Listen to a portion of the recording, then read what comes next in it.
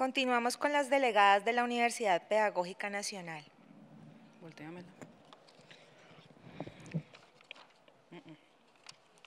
Ellas integran la mesa de género. Ay, perdón. Ellas integran la comisión de género a través de la cual ayudan a definir políticas y adelantar programas que enfrenten la discriminación por razones de género, etnia o por cualquier otra razón. Su actividad está enfocada a propender por un trato igualitario para mujeres y hombres, también personas no binarias, tanto al interior de la Universidad Pedagógica Nacional como fuera de ella. Su ponencia, discriminación y violencia de género en las voces, miradas y sentires de las maestras universitarias de la Universidad Pedagógica Nacional.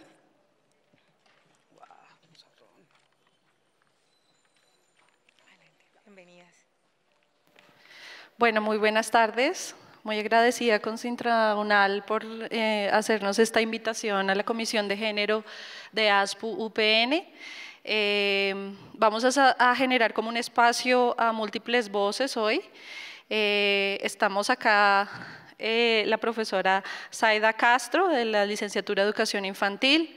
Está Carolina, que, es de, que nos acompaña hoy de Corporación Calles calle 7, y está la profesora Jennifer, que es también conmigo, somos parte del equipo de eh, la licenciatura en educación comunitaria y hacemos además parte de una colectiva que se llama Provocaciones Feministas, además de ser de la Comisión de Género y Derechos Humanos de ASPU-UPN. Eh, bueno, en este contexto queremos hablar justamente sobre eh, violencias, sobre discriminación, sobre cómo desde nuestra experiencia nosotros hemos venido como tratando de entender justamente eh, y colectivamente cómo operan esas violencias en nuestros cuerpos, en nuestras vidas, en nuestros contextos laborales, como sindicalistas, como mujeres sindicalistas, eh, como mujeres organizadas, como mujeres que intentamos eh, hacer un proceso, digamos, como muy vital de comprensión y de, y de transformación de esas violencias. Voy a empezar eh, compartiendo como esta, este pequeño apartado de la Carta Abierta Feminista de Feministas en Resistencia. Esta carta fue escrita en Honduras en el contexto del golpe de Estado que tuvo lugar en el 2009. Y dice, y en ese hacer nos hemos encontrado con otras mujeres y con otros hombres, y sabemos que con que con muchas nos hemos visto. Pensamos que es posible el cambio porque ya está sucediendo, que hay quienes ya no se atreven ni a pensar que las mujeres no deben hacer política, que solo sirven para la cama, para echar tortillas, para ir hijos o chismear y ver novelas. O sea, que hemos visto que el lugar que hemos peleado por siglos ha sido ganado en parte y que mucho camino queda por andar pero coincidimos en que hemos estado desde siempre no solo construyendo otros poderes y haciendo política desde las cocinas y las escuelas, las calles y los versos, la ciencia y la agricultura, la curación, la maternidad y el deseo. Hemos estado enfrentando desde hace siglos el poder opresivo y asesino del patriarcado, casi siempre en nuestro caso aliado al neoliberalismo, al racismo, a la heterosexualidad como norma y lo seguiremos haciendo. Muchos sabemos de lo que es vivir cada día en ese enfrentamiento. Sabemos bastante sobre la resistencia y lo que significa pelear por tener espacio para la belleza, la ternura y la alegría. Lo hemos hecho sin permiso, con mañas, inventando formas creativas, sin líderes supremos, con nuestra verdad y corazón. Desde ahí hablamos hoy. Queremos eh, partir como de la idea de, que, de digamos, de eh, transmitirles a ustedes como una reflexión colectiva que hemos venido haciendo alrededor de lo que son las violencias y visibilizar que en todo caso esto que, eh, por ejemplo, desde la Corporación Sí Mujer han llamado como una pandemia, que es la violencia contra las mujeres, opera, digamos, en muchos sentidos y opera de manera muy particular en los cuerpos de las mujeres que, por ejemplo, eh, eh, eh, somos, nos enunciamos como trabajadoras y, eh, y opera de manera eh, desde muchos lugares y desde muchas perspectivas, digamos, no solamente como violencias eh, físicas, sino también simbólicas, y hay que hacer definitivamente sí o sí una lectura interseccional de cómo operan esas violencias. Entonces, partiendo de ese lugar, también situamos esas violencias que nosotras vivimos en un contexto mucho más grande y englobante que es el contexto de las violencias basadas en género que se viven en el país.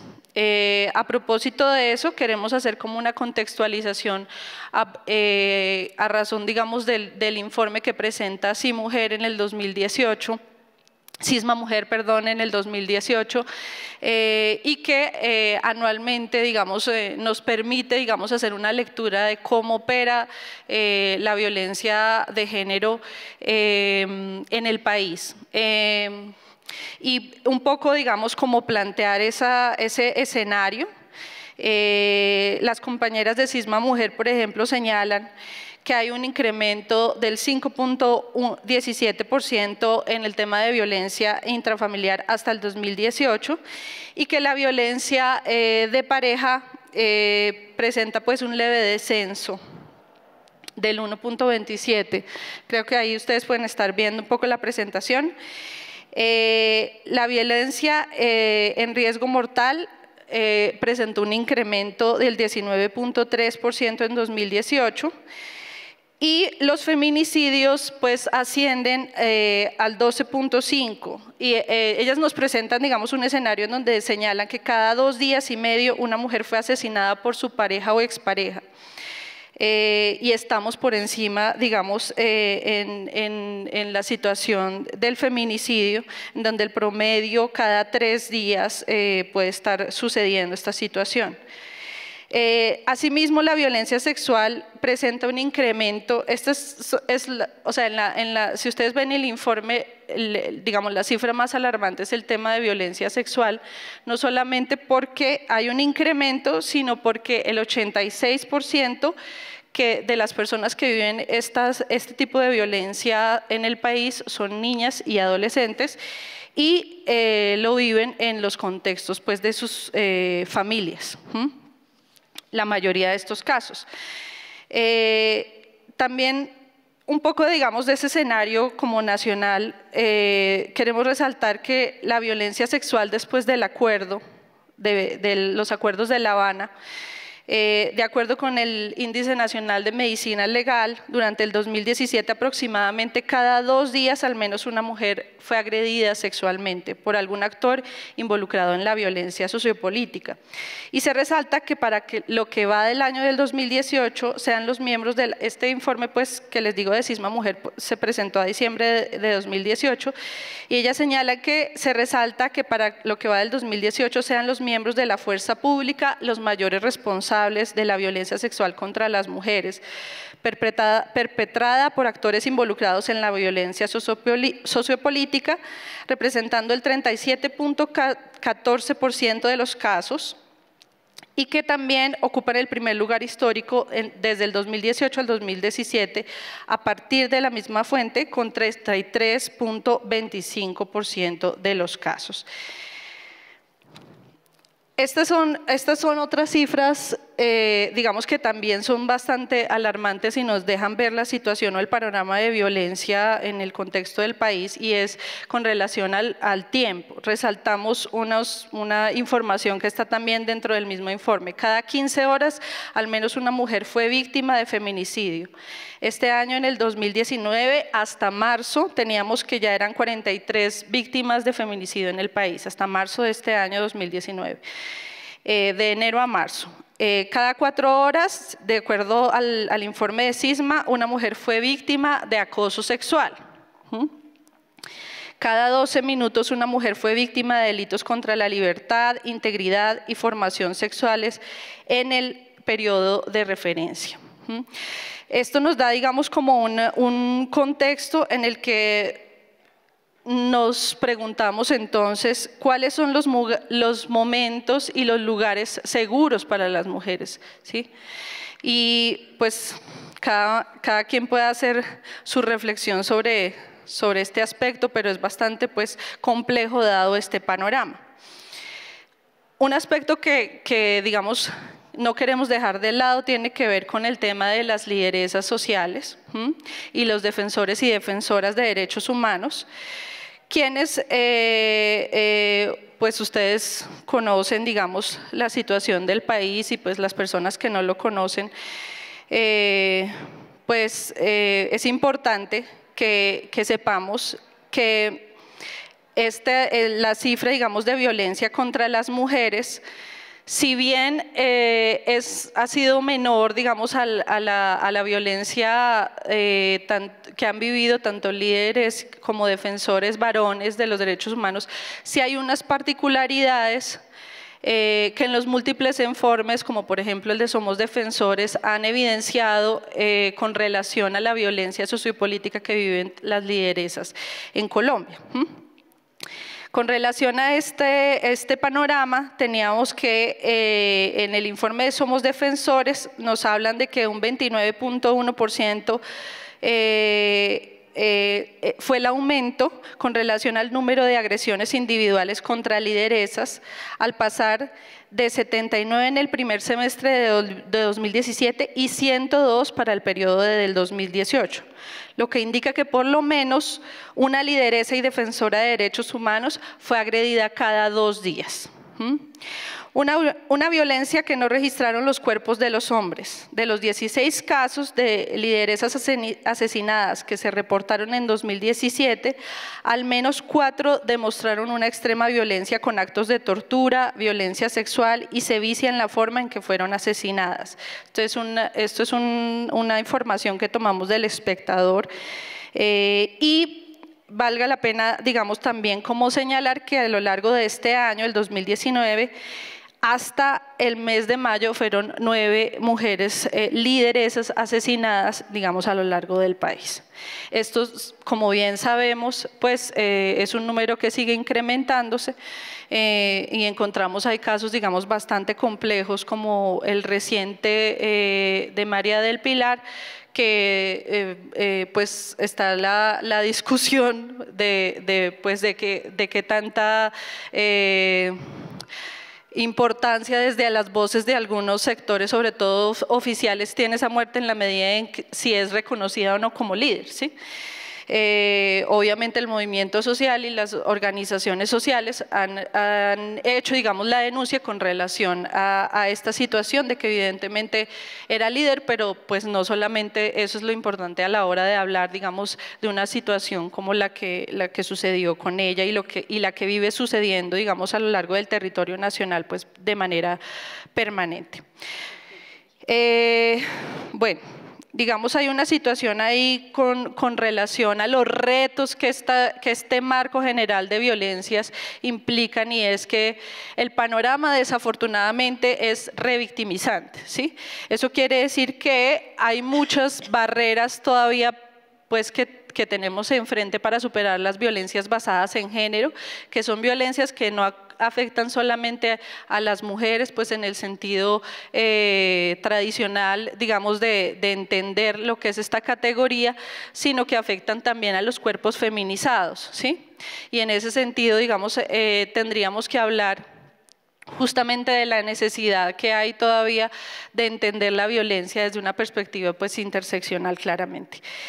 Eh, y no dejar por fuera también, digamos, como la, la, relación que hace, que ya presenta la ENS, digamos, con relación al contexto ya sindical, en el que, por ejemplo, eh, en, el, en, el, último informe que nos presentaron, eh, que nos presenta la ENS en, en, septiembre del año pasado en Santa Marta, nos habla de que desde el año de 1973 al 2018 fueron un total de 3.350 mujeres pues, eh, eh, que han vivido las violencias, digamos, en el contexto pues, de su trabajo sindical. Eh, digamos, discriminadas en ese, en ese orden que pueden ver ustedes en la tabla, que van desde amenazas hasta allanamientos, torturas, bueno, y todo este panorama pues tan amplio de violencias, entendiendo de nuevo, que las violencias eh, para el caso de las mujeres operan de una manera eh, eh, diferente. Sí, hay unas sevicias que, digamos, operan ahí como muy particulares con relación a los agresores que, que perpetran este tipo de violencias. En este panorama, digamos, o en este contexto tan amplio, pero tan preocupante también, es que hemos querido situar también una serie de violencias que son las violencias eh, que vivimos también en los contextos organizativos, sindicales, del trabajo y que son múltiples. Y por eso, eh, digamos, hoy lo que queremos es justamente presentar un panorama no solo victimizante, sino también como, nosotras como, como, como comisión hemos construido también unos tejidos como de resistencia, de sanación, eh, de alternativas, digamos, eh, en el contexto pues también de la academia, en el contexto de la calle y cuáles son los retos que también pues seguimos enfrentando pues porque esto, es, esto se presenta pues de manera paralela y permanentemente. Entonces eh, le doy la voz a Zaida.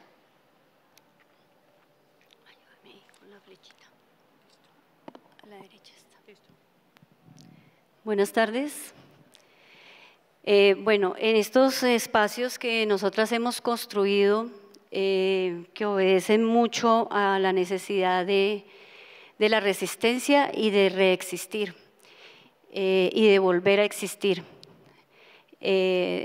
Nos hemos visto abocadas en diferentes momentos a hacer eh, denuncias y, hacer actos simbólicos eh, que implican una sensibilización y una concientización al interior de la universidad por el momento. Igual lo hemos hecho en otros escenarios, eh, desde un proceso que venimos desarrollando desde hace seis años.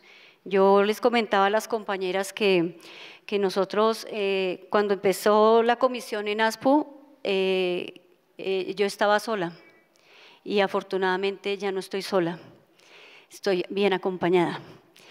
entonces, en las fotografías que ustedes van a, van a ver, se muestran algunos de los actos que nosotras hemos desarrollado en aras de, de hacer esta mm, visibilización eh, en un tono también de la sororidad, de la unidad, del cambio y de la armonización, como lo decía Carolina cuando empezamos la jornada hoy.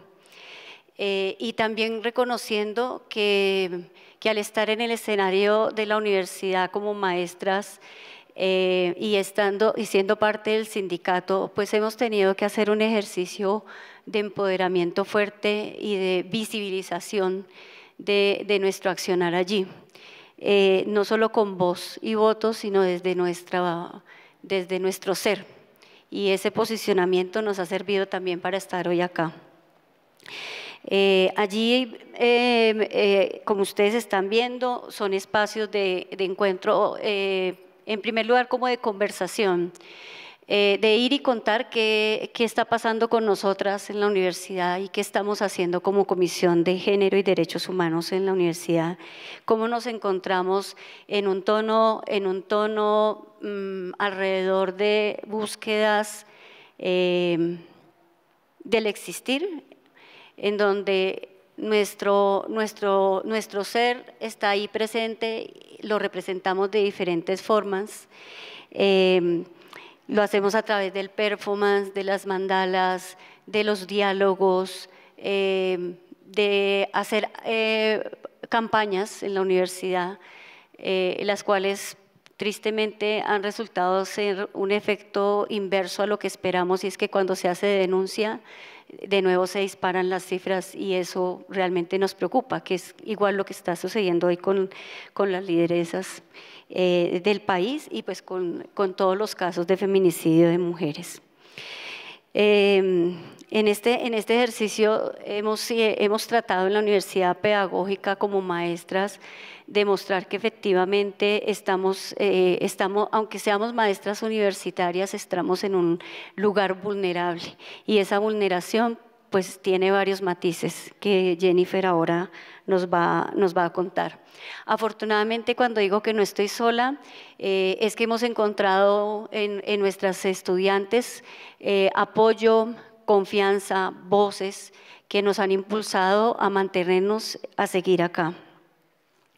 Eh, esta que ven aquí es una, es una de nuestras de nuestras denuncias es la favorita en toda la universidad, con decirles que todos los calzones que están ahí se perdieron porque no supimos quién los cogió y todos nuestros calzones se los llevaron en esa oportunidad y siempre tratamos de saber dónde estaban y no, no aparecieron nunca, entonces consideramos que tuvo el eco que, pretendíamos.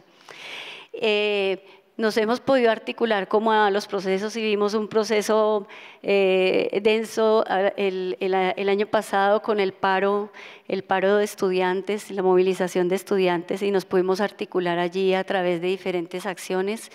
Eh, como la bailatón en todas las marchas, eh, pudimos hacer como también actos de solidaridad, de encuentro, tuvimos una chocolatada, eh, nunca habíamos preparado un chocolate para tanta gente en la universidad y pues ahí aprendimos.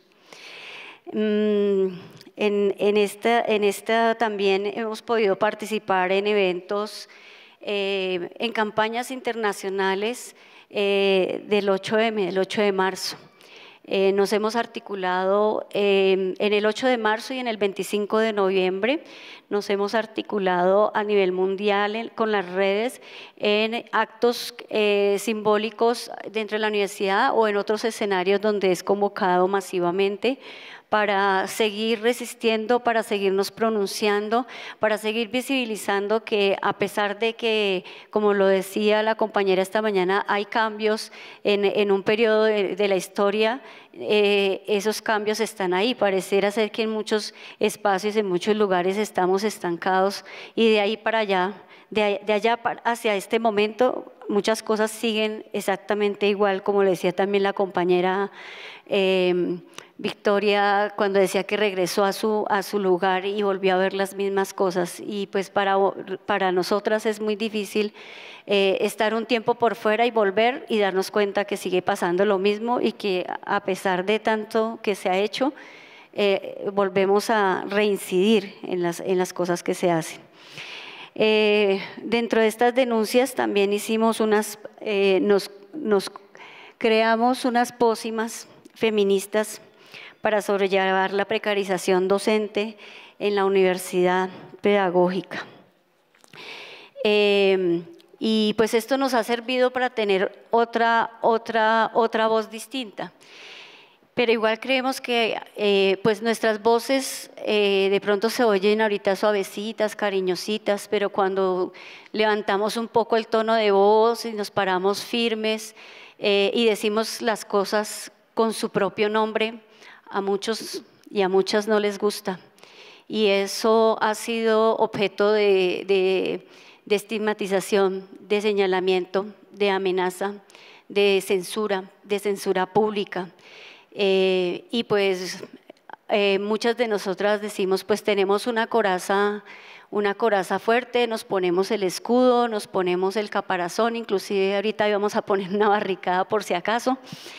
Eh, pero, pero eso no quiere decir que al, estar utilizando esa, esa, esa coraza eh, no nos demos cuenta, no sintamos y no nos dobleguemos ante tanta... Eh, ante tanto, tanto violento, injusto, incoherente, porque nos hemos dado cuenta que hay unos discursos frente al tema de, de género eh, que está en el discurso, que está como en, en, un, en un debate público y como que todo el mundo lo dice, pero a la hora de poner el asunto en práctica no lo hacemos. Eh, y cuando lo hacemos, pues somos agredidas, somos perseguidas. Y pues ahí realmente nos toca, nos toca hacer un camino, hacer un camino, hacer un camino bien largo todavía y que esperamos que tenga, que tenga sus frutos. Cuando llego, empecé, empecé sola en este camino en el, en el sindicato y ya somos ocho y hemos podido sostener esa comisión con todas las dificultades, inclusive al interior del sindicato. Eh, no, ha sido, no ha sido fácil, como lo han dicho muchas otras compañeras, no es sencillo hacer ese camino, no es sencillo pararse frente y decir que yo soy lo que soy y que me siento orgullosa de lo que soy y no me importa que piensen los demás, eh, porque pues ya sabemos, así como María del Pilar se arriesgó, pues nosotras también lo hacemos y lo hacemos siempre, inclusive en nuestros espacios académicos. Em, entonces, en este, en este proceso estamos, estamos caminando, estamos andando em, y de esta manera queríamos como compartir un, pedacito de nuestra experiencia que, que ya la podemos escribir. y, y, bueno, que ahí, ahí vamos. Entonces voy a dar la palabra a Jennifer para que ella nos comparta un poco la otra parte del proceso. Bueno, buenas tardes para todos y todas. Yo arrancaría diciendo que del lugar de enunciación de nosotras es como trabajadoras. Creo que el asumirnos como trabajadoras empieza a ponernos políticamente en otro contexto donde la academia siempre enmascara nuestros lugares. Decir que se es académica en momentos funciona como un pretexto para decir las luchas que están dando aquellas compañeras no nos corresponden. Hay mucha gente que asume que no trabaja, que no se es trabajador o trabajadora porque lo que hace le gusta mucho. Pero claro, cuando tus marcas vitales son otras y pasan por la precariedad de tu trabajo, por las violencias sobre tu cuerpo como maestra en esta universidad, voy a situarme en la pedagógica, pues las luchas se vuelven de otro color. Y quisiera vincularlo porque algunas de las frases que hemos construido como equipo pasan porque no estoy loca. Y eso se lo tenemos que repetir constantemente a los compañeros, lastimosamente. Y no estoy loca porque no quiero que me patologices. Yo no tengo la culpa que a ti te genere una amenaza que yo te hable sin sonreír, que es un gran problema cuando exigimos los derechos. No exigimos los derechos como ustedes, compañeros. Y que no los exijamos igual no puede ser un lugar para que nos deslegitimen. Hemos sido víctimas de muchas violencias y creo que en ese recorrido llamaría la atención porque el feminismo nos ha servido en esta apuesta sindical para tener unos lentes que comprendan la precarización laboral desde otro lugar. Hoy la pedagógica, con datos del 2018, tiene más maestras mujeres en la ocasionalidad que en la cátedra. Son más hombres en cátedra. Y en la ocasionalidad, eso implica que nosotras tenemos otro tipo de vinculación con un tipo de dificultad que pasa por la salud, por la pensión. Yo hago parte de la comisión de reclamos además, y los casos que me han llegado son de muchas compañeras mujeres que no se van a pensionar, que no les alcanza ni la edad ni las semanas, que tienen en sus cuerpos, muchas de nosotras estamos aquí sentadas y también opera, que somos además de maestras, eh, además de trabajar en la casa, trabajamos aquí, somos hijas cabeza de familia, madres cabeza de familia, tenemos entre dos y tres empleos y no lo hacemos de chévere ni nos parezca una delicia irnos a correr a dos universidades más. Es que no nos alcanza el sueldo. Porque hay que trabajar los cuatro meses de contrato para poder tener lo de los otros cuatro que no trabajamos. También diría que hay una, mm, una insistencia en desconocer la forma en que, además de empobrecernos, nos enfermamos. Y el estar enferma, recuerden que somos las cuidadoras, o sea que nos toca autocuidarnos. De allí que queramos compartir el siguiente video. Lo construimos el pasado fin de semana en la tercera asamblea de maestros y maestras ocasionales de ASPU Nacional. Em, y allí varias de las compañeras, si me ayudas con el porfa, em, que hacen una apuesta sindical a nivel nacional, les van a contar cómo es la experiencia de los sindicales sobre nuestros cuerpos y por dónde han caminado en estas luchas.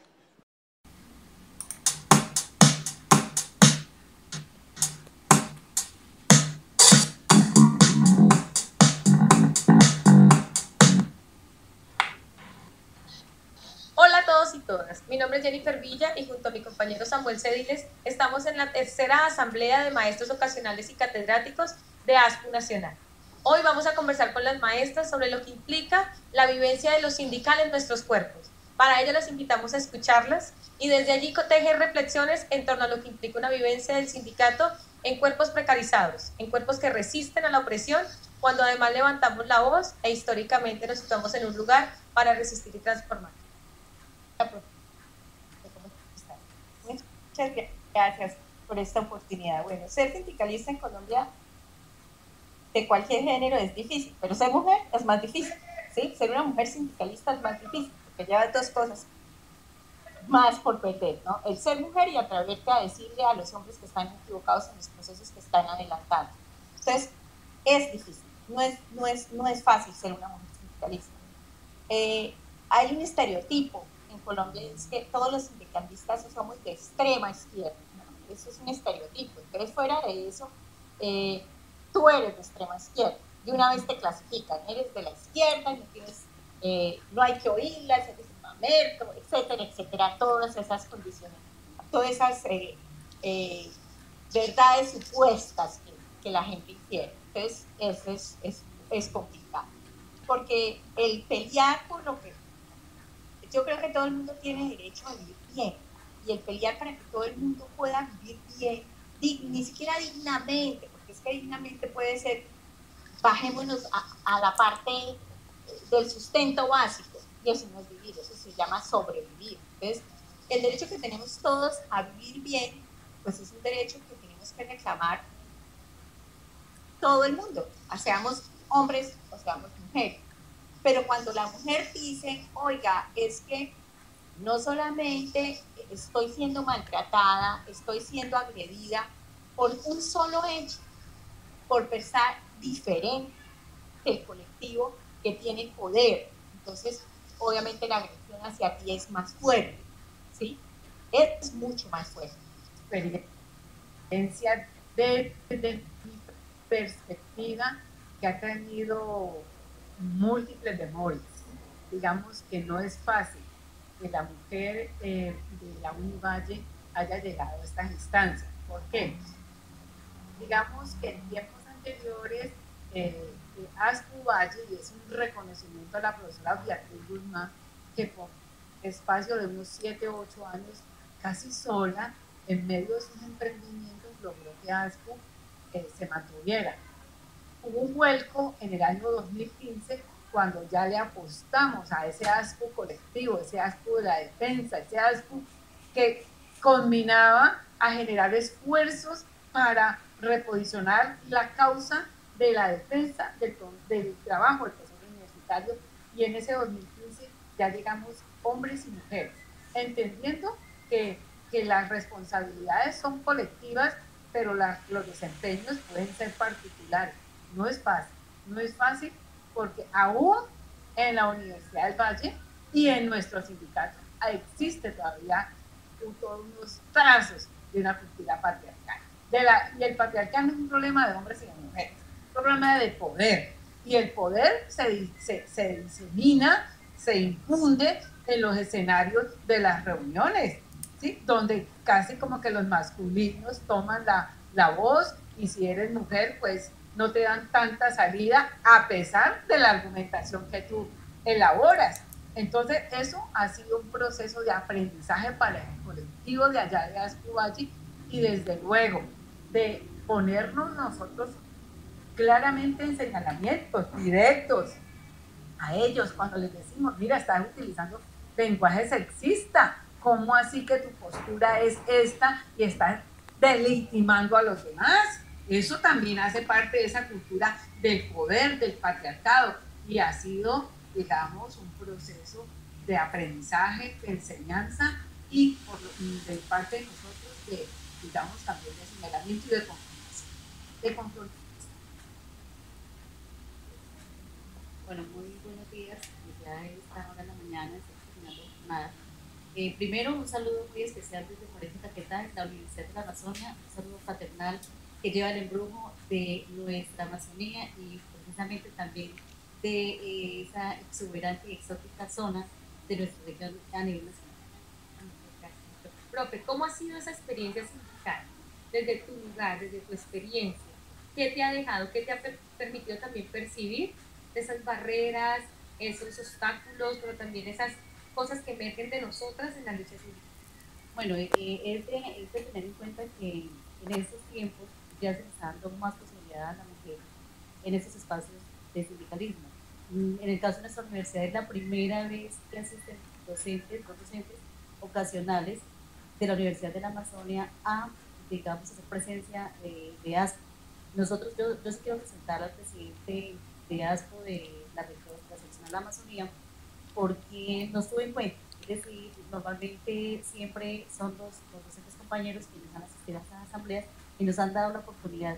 Y estábamos incluso en esta experiencia que acabamos de, terminar, reconsiderando el tema de que vamos a, seguir empoderándonos, aunque es visto en todos los sindicatos la mujer no es tan bien visibilizada todavía.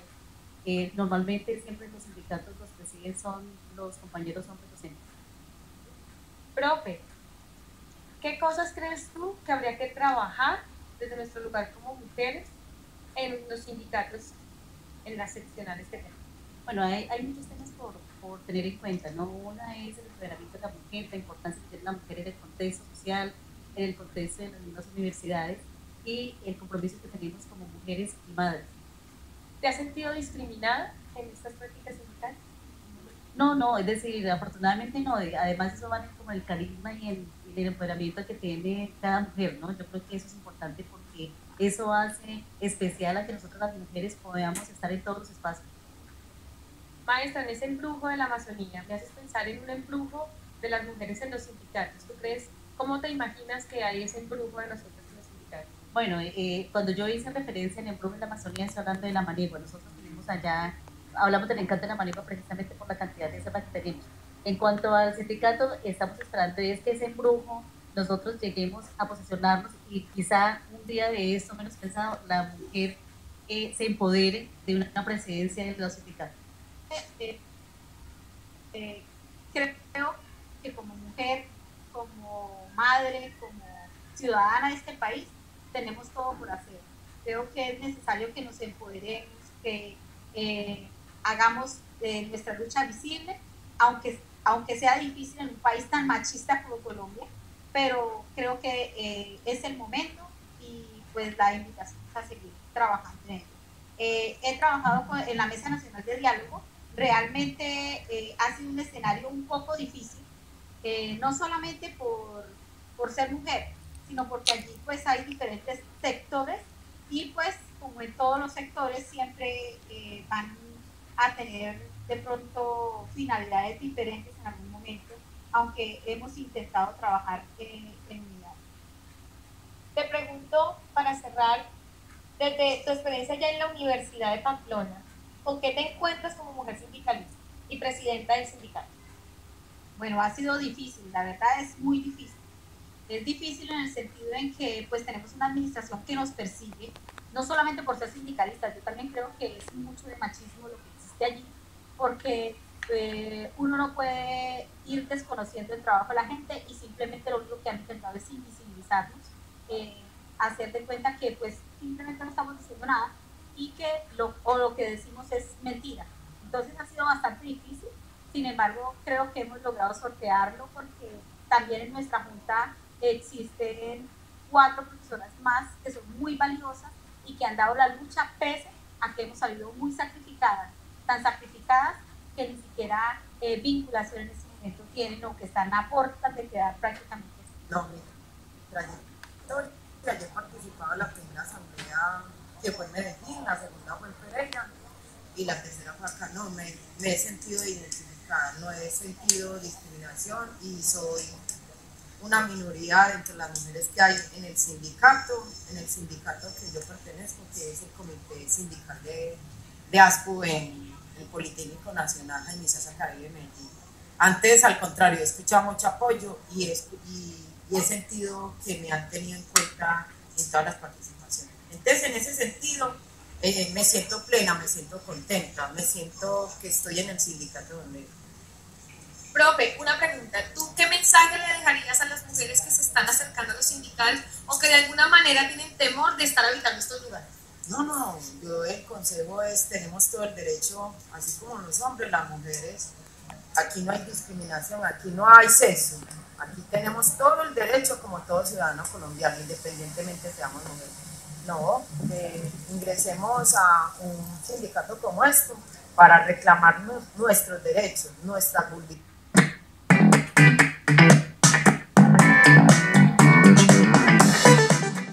Bueno, em, en estas reflexiones diría em, una cosa y es la lucha que tenemos abierta en la pedagógica las mujeres sindicalistas es por la formalización laboral. Una formalización laboral que hoy habla de que a la universidad le entraron 2.200 millones para formalizar trabajadores. ¿Esa plata dónde está? La rendición de cuentas no habló de eso.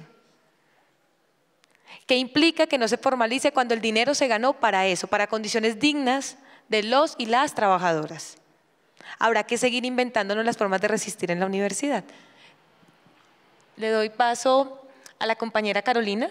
Quisiera que en este punto de la conversación pudiéramos encontrarnos en la reflexión de lo que implica no solamente el trabajo desde lo formal o el trabajo em, en, clave de los, de los moralismos eh, bien visto y bien aceptado, sino que nos pensemos que implica el encuentro entre trabajadoras, en este caso maestras, y trabajadoras sexuales desde dónde resisten las compañeras, cómo se organizan. Y para eso Carolina nos va a contar, para tensionar también nuestros imaginarios y nuestra idea de, em, de que en la mañana nos decían como que todas somos trabajadoras sexuales, ¿no? Y entonces habrá que escuchar a Carolina para saber qué tanto de eso oculta nuestros propios miedos. Carolina, bienvenida.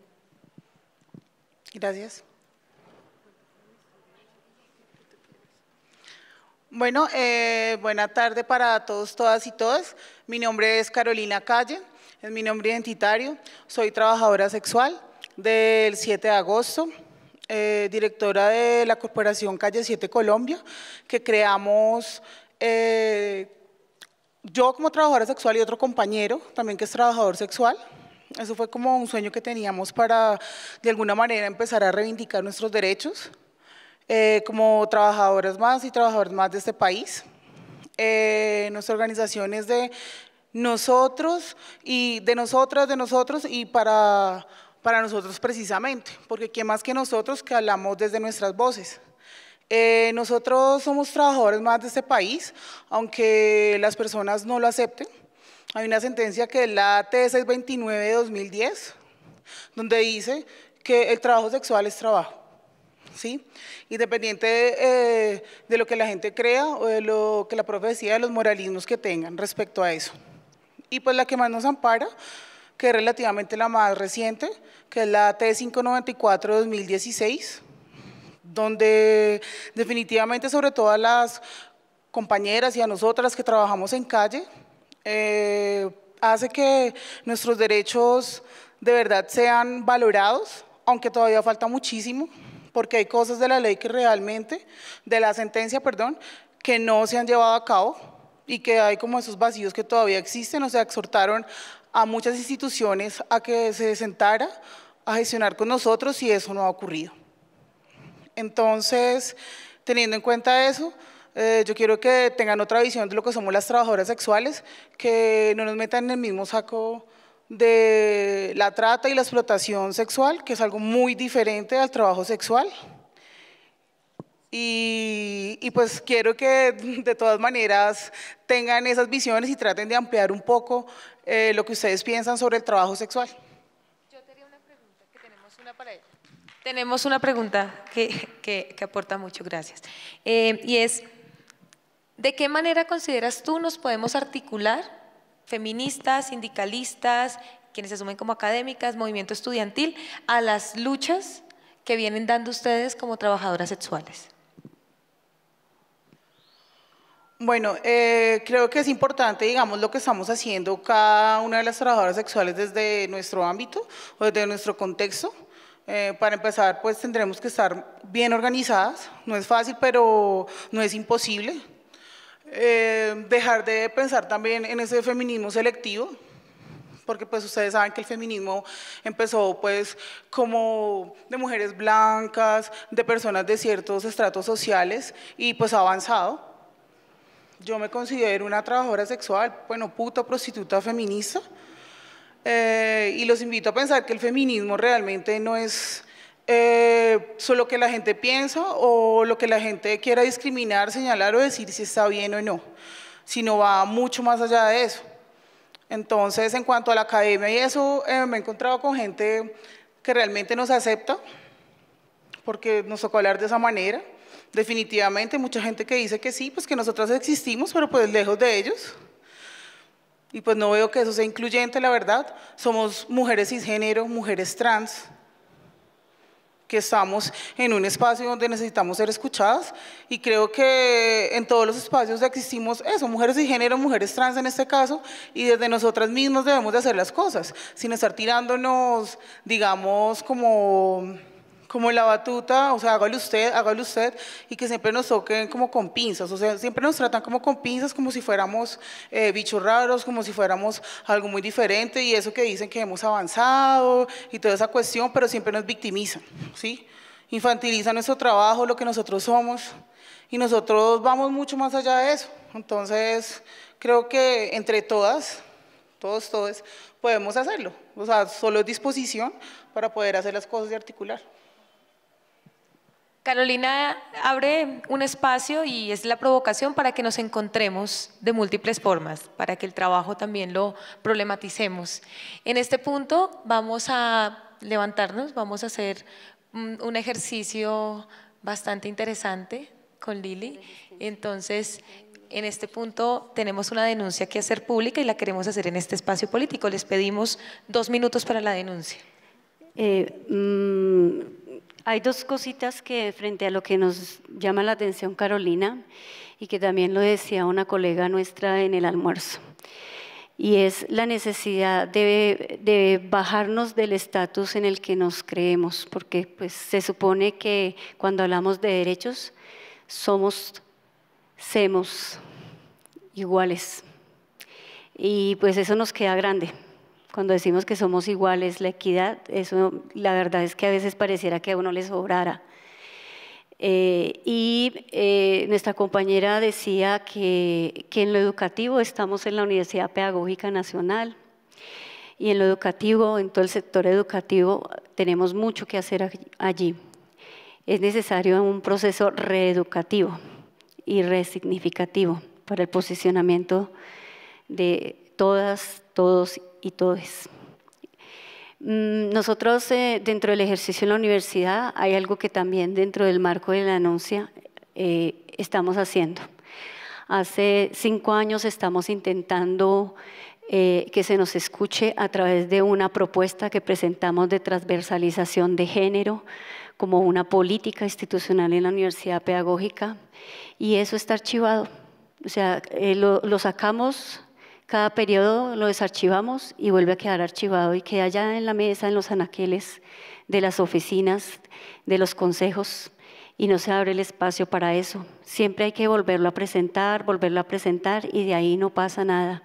Y eso realmente nos preocupa. Cuando esta mañana hacía la intervención el rector, pues decíamos nosotros, eh, ¿y dónde está lo de transversalización de género? Tampoco nos nombró porque parece que nosotras no existimos en la universidad.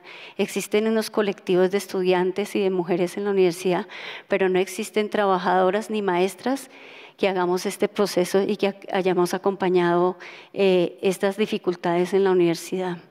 Entonces, ahí tenemos una urgencia importante porque no es un ejercicio solamente para las maestras, sino es una política institucional que, se requiere para que muchas de las cosas que están pasando actualmente en la universidad pedagógica y en otras universidades, eh, por lo menos se tenga un, un, parar, un parar y un saber qué hacer frente a ello.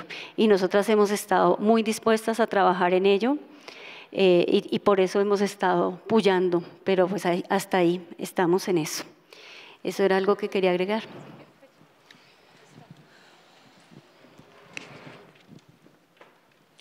Bueno, eh, reiterar que agradecemos a Sintraunal por el, por el espacio que nos concede hoy en, en este evento que realmente pues necesitamos mucho de estos eventos, pero necesitamos también de articulaciones, por eso ese es el sentido de que esté Carolina hoy con nosotros, porque hemos venido haciendo un trabajo desde la licenciatura en educación comunitaria eh, eh, y desde el sindicato eh, hemos venido haciendo como un trabajo de articulación con pues el sector de las organizaciones que, que pues trabajan dentro del activismo y las trabajadoras sexuales mismas en Bogotá.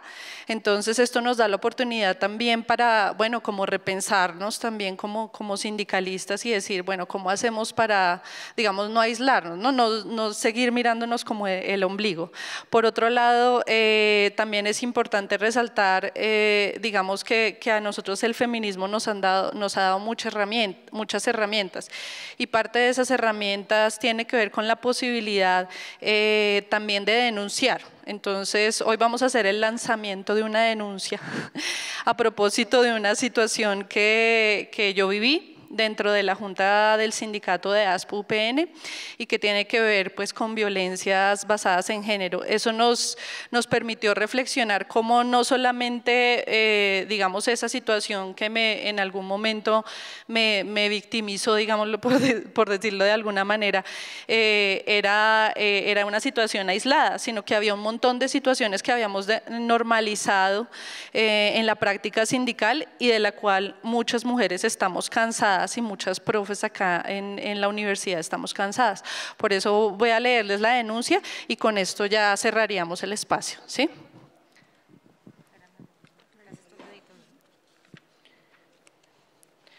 Junta Directiva de ASPU-UPN.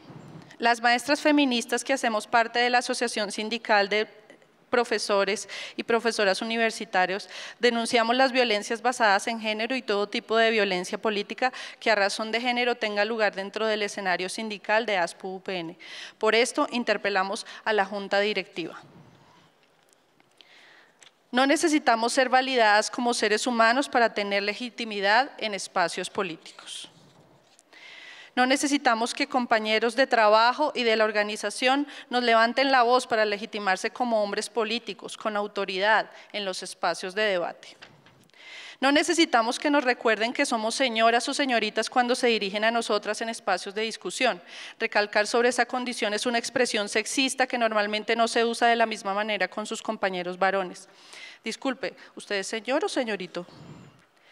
No necesitamos que nos digan cómo hacer política o cómo ser mejores feministas. Esa práctica se llama mansplaining, traduce hombre que explica. Entre otras, además de ser también una expresión sexista, da cuenta de una soberbia intelectual muy propia de los contextos académicos. ¿No creen que es hora de cambiar eso? Profesor Wilson López, no necesitamos que nos insulten con groserías, en voz baja o entre dientes, tampoco que nos hablen con menosprecio en discusiones o medios virtuales porque no está de acuerdo con nuestras ideas, formas de expresarnos u otras. Esto ya raya en el sexismo hostil y es una expresión de la violencia de género. No necesitamos verticalismo patriarcal, decisiones de arriba a abajo, invisibilización o menosprecio de las posturas o llamados de atención desde el feminismo. Queremos saber si esa es su idea de dar lugar a la diferencia, así se construye la unidad. ¿De verdad nos van a explicar qué es y cómo se manifiesta el patriarcado solo para justificar sus prácticas o la de sus compañeros dentro del sindicato? No necesitamos que nos recuerden la amenaza que representa para ustedes la manera en que nuestras formas de vivir lo político incomodan, puesto que exigen descolonizar sus comportamientos, sentires y razonamientos sexistas, patriarcales, patologizantes y violentos sobre nuestros cuerpos como mujeres sindicalistas. No necesitamos que nuestras luchas sociales y políticas sigan sostenidas en valores patriarcales que no comprenden la forma en que opera la sobreexplotación laboral y la opresión por género en la UPN. No necesitamos que la participación de nosotras las mujeres trabajadoras esté mediada por prácticas de discriminación, exclusión y violencia de género en el marco de las relaciones del trabajo y lugar sindical. No necesitamos justificaciones y argumentaciones reiterativas y cómplices sobre los comportamientos misóginos de la Junta Directiva. Junta Directiva de ASPUPN, ¿cómo se van a comprometer para cambiar las prácticas sexistas y violencias de género en el contexto de nuestra organización sindical? Somos feministas, somos maestras UPN, ninguna agresión sin respuesta, no más violencias de género ni prácticas patriarcales en el contexto sindical ni en nuestros lugares de trabajo. Comisión de Género de Derechos Humanos de ASPU UPN, colectiva Provocaciones Feministas. Muchas gracias.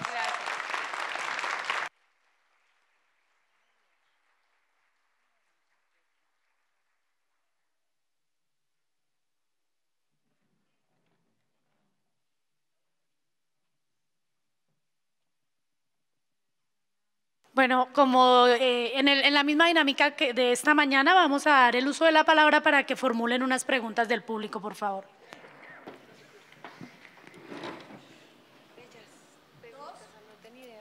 Hay una más, estábamos haciendo a tres. Buenas tardes a todos y todas. Mi nombre es Claudia Rodríguez, vicepresidenta de Sintra y Diger. Saludo muy complacida de la intervención de las compañeras. Hago parte eh, de la Red Rojo y Violeta, del proyecto del Movimiento por la Defensa de los Derechos del Pueblo. Y la discusión de que el patriarcado no es una discusión aislada de las organizaciones sociales, políticas, comunitarias y por tanto de los sindicatos es muy importante. Y quiero decirles, compañeras, que creo que muchas de nosotras nos venimos dando esta discusión que creo que los procesos de articulación y gracias a Centraunal por generar este espacio que ojalá redunde en articulación sindical, independientemente de las múltiples corrientes o afiliaciones que se tengan, este tema nos une. Hay dos elementos que sería importante poder eh, retomar. Uno es que desde diferentes lugares estamos impulsando que se constituyan pactos para la despatriarcalización del sindicalismo. Lo primero para hacer esto es poder reconocer que estas prácticas existen a nuestro interior. En el caso de nosotros participamos en, eh, el Congreso de la CUT hace no más de un mes y con sorpresa nos damos cuenta que la discusión está en nosotras mismas. O sea, hay posturas de compañeras donde se plantea que me siento bien representada por los hombres, que la discusión del patriarcado no es una discusión desde, el sindicalismo, que denunciar las prácticas patriarcales a nuestro interior hace parte de atentar contra las formas de organización de los trabajadores, trabajadoras en nuestros procesos, instituciones, empresas o en, en el país. Y en ese sentido hay una labor muy importante. En ese pacto para identificar las prácticas patriarcales a nuestro interior y poder transformarlas, pues debe haber unos procesos de discusión también entre nosotras mismas. De discusión, de retroalimentación, de círculos de mujeres, donde podamos profundizar no solo el argumento que está, sino que podamos profundizar en el porqué, las discusiones, los diferentes puntos y ganar una mayor fuerza y unidad como mujeres sindicalizadas. Lo segundo es que existen prácticas sexistas y patriarcales al interior y al firmar o promover un pacto colectivo entre nosotras que promovamos porque cada uno de nuestros sindicatos lo suscriba y lo difundamos para las centrales y, hagamos una serie de acciones eh, para que pueda generarse una corriente de opinión pública en favor de la despatriarcalización del sindicalismo, va a llevar a que no haya, me parece muy chévere esa frase, no haya em, situación o violencia que no tenga como respuesta una denuncia y no solo una denuncia, sino también una reparación o restitución de los derechos y una reparación del acto o hecho de violencia que se está ejerciendo. En ese sentido también, eh, pues vamos a, a, repartir, estamos como Red Rojo y Violeta eh, apoyando en solidaridad con Yahara Cañón, que realizó una denuncia como parte eh, contra el presidente de la Asociación de Educadores de Cundinamarca, ADEP, y dice, cuando una mujer decide denunciar, no se le debe acusar, solidaridad con Yahara. Eliminar las violencias contra las mujeres no es un asunto personal ni privado, es un tema colectivo y político, y cuando digo no, es no. Muchas gracias.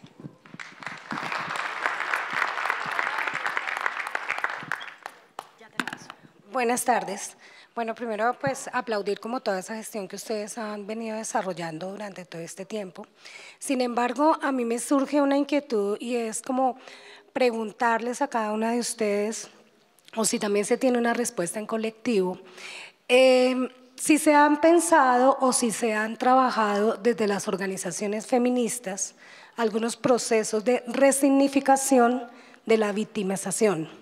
Es decir, si ese si ese lugar, ese lugar de revictimización en, pues, que surge de todas las violencias que hemos estado viviendo, se ha pensado para resignificar de otra manera, de otra manera precisamente para hacer o para validar la participación en, digamos, en, la organización sindical, eh, en los grupos, en las agrupaciones. Digamos como que me surge esa inquietud porque estar siempre en el papel de víctimas, aunque lo somos, ¿cierto? pero estar siempre en ese papel y no pensarnos en salir de ese papel resignificando esa victimización, pues creo que es como seguir en el mismo juego y en el mismo círculo. Entonces, que ese empoderamiento se dirija de otras formas. No sé si se habrá pensado o no, esa es la pregunta.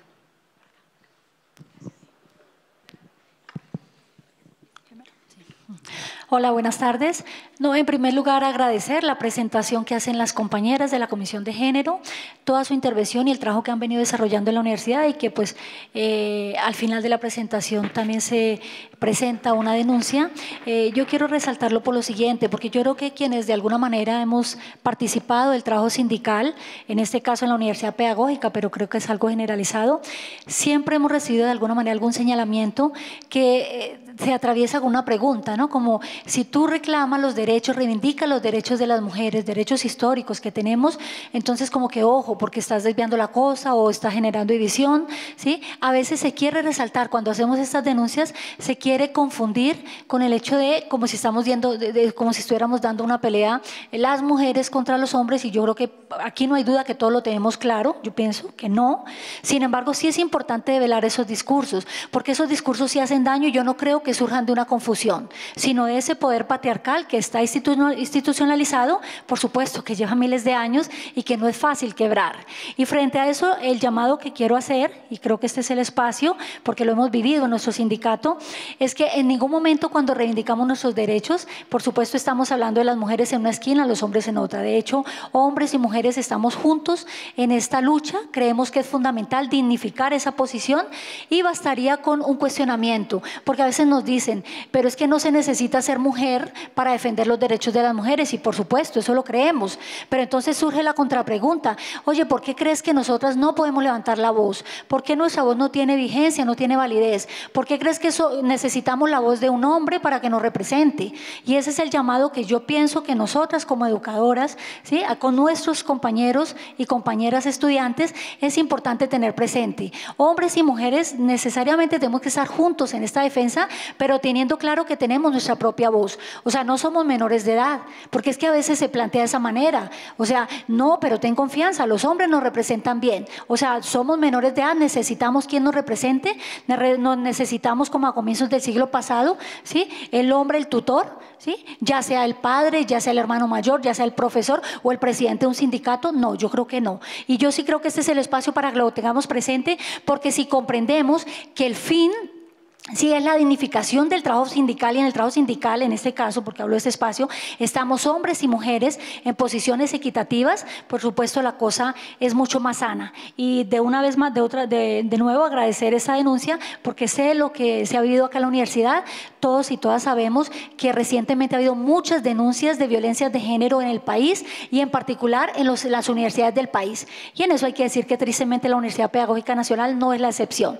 Lo hemos vivido, diferentes tipos de violencia y ojalá este tipo de espacios permitan, faciliten la reflexión para comprender que la pelea no es por supuesto de mujeres contra hombres, sino hombres y mujeres intentando derrocar esas prácticas patriarcales que sí nos hacen daño y nos están victimizando y revictimizando y tristemente muchas de nosotras eh, defendiendo esas prácticas, ¿no? Con ese tipo de argumentos. Gracias. Hola a todos y todas. Bueno, que primero saludar el espacio que me alegra muchísimo estos espacios, sobre todo como en medio de las situaciones que venimos teniendo en la pedagógica. Eh, yo soy estudiante de la licenciatura en educación comunitaria y hago parte de la banda Sin Miedo, colectiva de chicas feministas de la universidad.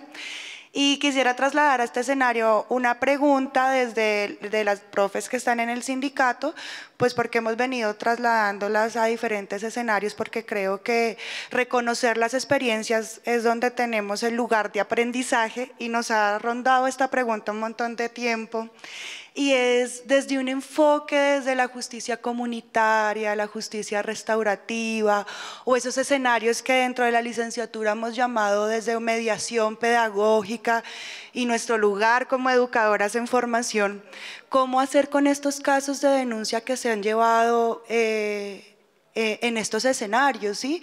Porque si bien es cierto, creo que la denuncia penal es importante, también es un, una jugada que nos está haciendo este mismo sistema de creer que el tema es la cárcel y entender la justicia solo desde lo penal y lo jurídico, que finalmente también es una trampa. ¿Cómo pensarnos este otro lugar? pero además es, es, bien complejo porque entonces un escenario de mediación pedagógica donde estás sentada con el acosador, con el, sí, como nos hemos venido pensando, tenemos muchas reflexiones en torno y seguimos pensándolo, pero me gustaría un poco desde las profes en el sindicato cómo se han venido pensando, trabajando, reflexiones frente a esto.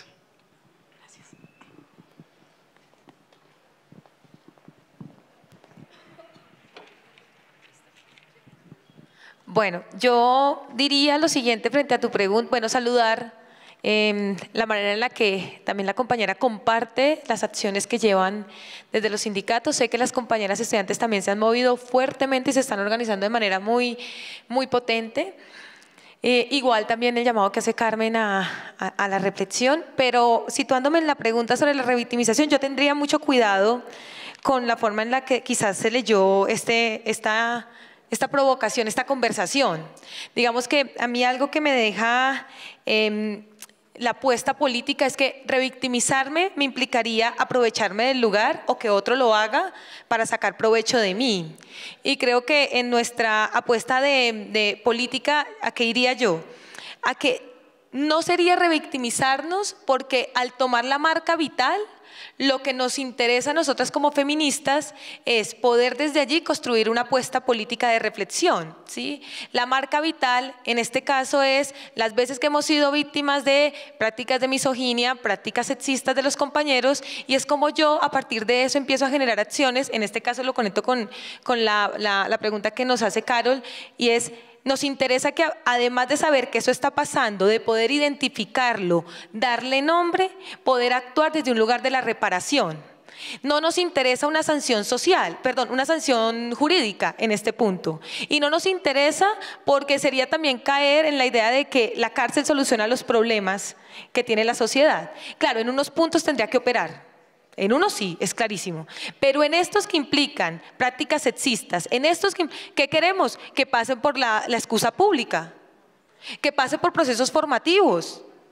No solamente del compañero, de la compañera, no de todos, porque a veces hablamos de sexismo y decir señor y señorita nos parece, ay, pero porque son tan exageradas. Y no me hago referencia a ti, maestra, qué pena, no, sino como que nos han dicho eso en el ambiente, como, pero qué malo tiene que te digan señor o señorita, eso es cultural. Quítale, tú que le pones a todo un pereque. Y decimos, no, es que a él no le dice señorito. Ah, no es que no me dice señora o señorita, sino, ¿cómo le digo? Señor o señora o señorita. Niña, cuando quieres descalificar, niña, es que, ¿cuántos años es que tiene usted? Es que yo con estos 30 años de, de, tránsito político y usted, ¿cuántos, ¿cuántos que lleva en la universidad? Y quiero ponerlo ahí porque es como todos nos formamos tenemos espacios de discusión para esto.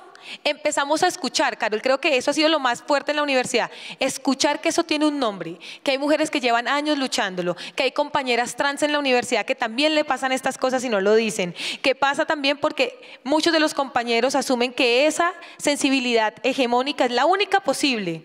¿Sí? Y que entonces hay instancias que no nos están sirviendo.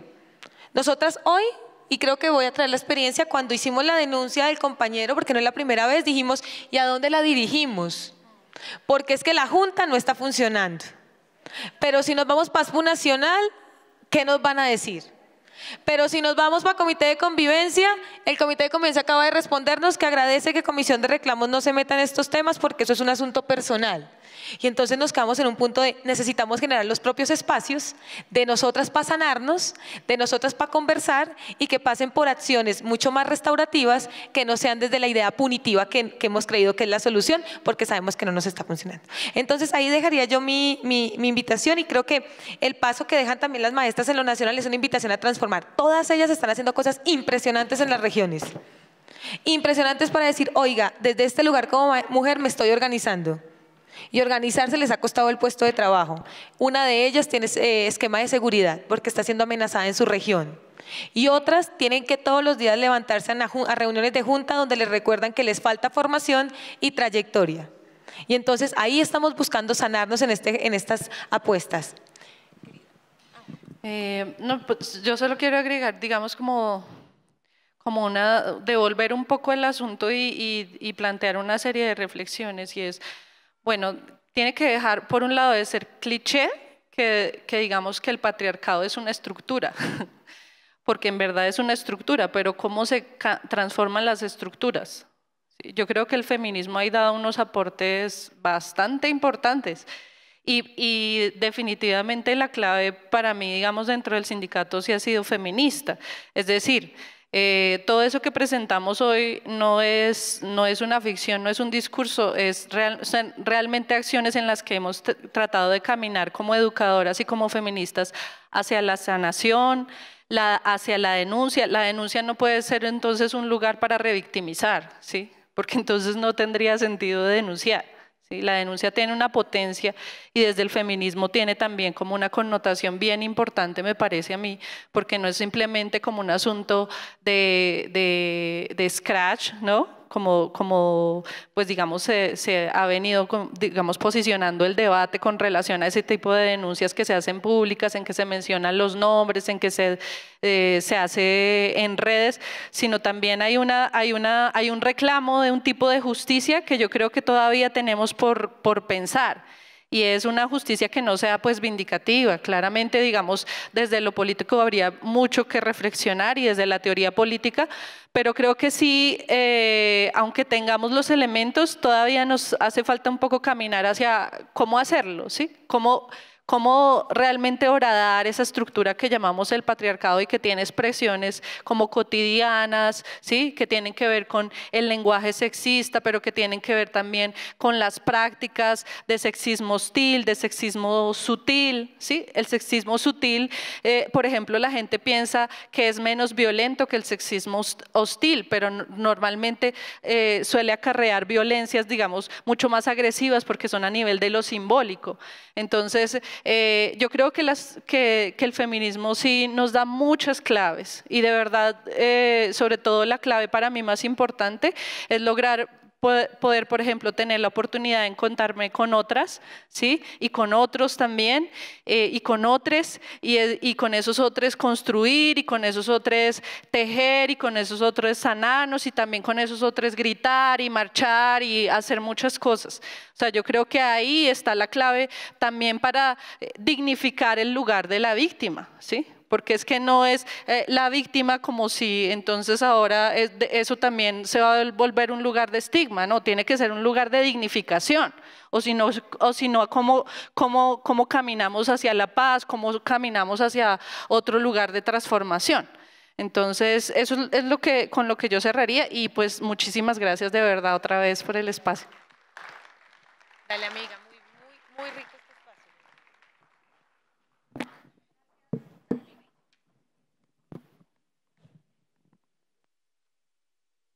De cara a algunas acciones que podrían lograr un impacto positivo en el equilibrio de la balanza laboral, el 82% de los colombianos considera que se debería lograr una igualdad salarial para hombres y mujeres.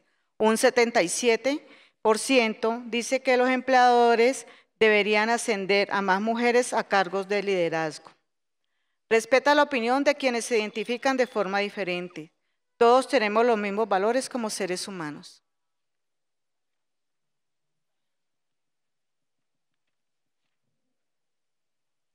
Nuestra siguiente ponente, lideresa sindical y social, Divet María Quintana Duarte.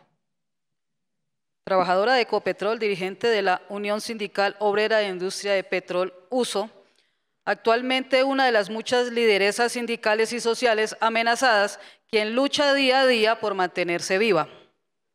Entonces, yo siempre inicio, hace como un año no doy una ponencia, pero siempre inicio con un gracias, un gracias que siempre lo inicio con este personaje de Kino, que es la primera que en mi vida me, hace reflexionar que hay una forma diferente de pensar.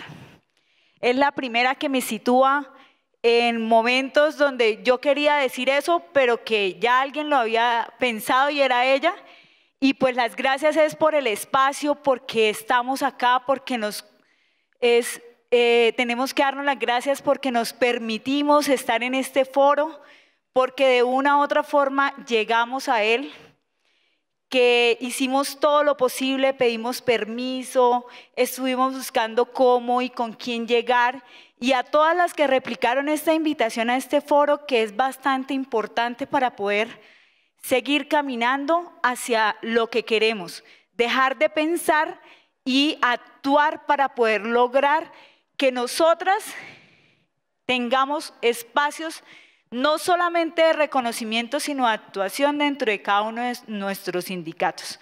Yo pertenezco a un sindicato que lleva 100 años, va a cumplir dentro de pocos 100 años y les puedo decir que como un dato, nunca durante los 100 años ha habido una mujer en la junta directiva del sindicato. Entonces, es un reto, un reto importante. Y mi ponencia se llama El sindicalismo revolucionó mi vida. Eh, la frase con la que voy a iniciar es insistir, persistir, resistir y nunca desistir. ¿Por qué? Porque siempre me ha animado, porque siempre me ha llevado a, en momentos donde he estado tal vez llena de muchas presiones y de, de muchos argumentos para decir ya no más. Siempre me levanto esta frase, entonces la leo y la leo, la escribo, la pienso. No he encontrado quién fue el que la escribió. No he, no he sabido ni cuándo, pero creo que en muchos espacios la hemos escuchado, la hemos repetido, la hemos replicado y me parece bien bonita para iniciar esta ponencia. Revolucionar, quería decirles que encontré que revolucionar es producir cambios profundos y eso ha hecho el sindicalismo en mi vida. Y me encantan los sinónimos, desordenar, alborotar, innovar, excitar, transformar, sacudir y conmocionar. Yo creo que eso es la revolución y eso ha hecho el que yo haya conocido el sindicalismo o que el sindicalismo haya llegado a mi vida de la forma en la que llegó. Entonces yo en lo, académico lo he aprendido en los foros, en los congresos, en los espacios que he podido, gracias al sindicato, poder compartir con muchas y muchos de ustedes en tantos escenarios durante estos 20 años de ser afiliada a la USO y que he tratado de absorber como una esponjita todo lo que he podido para poder entender el por qué debemos estar las mujeres en el sindicalismo. Entonces, yo vengo de una familia netamente patriarcal. Creo que muchas podrán identificarse con esta historia.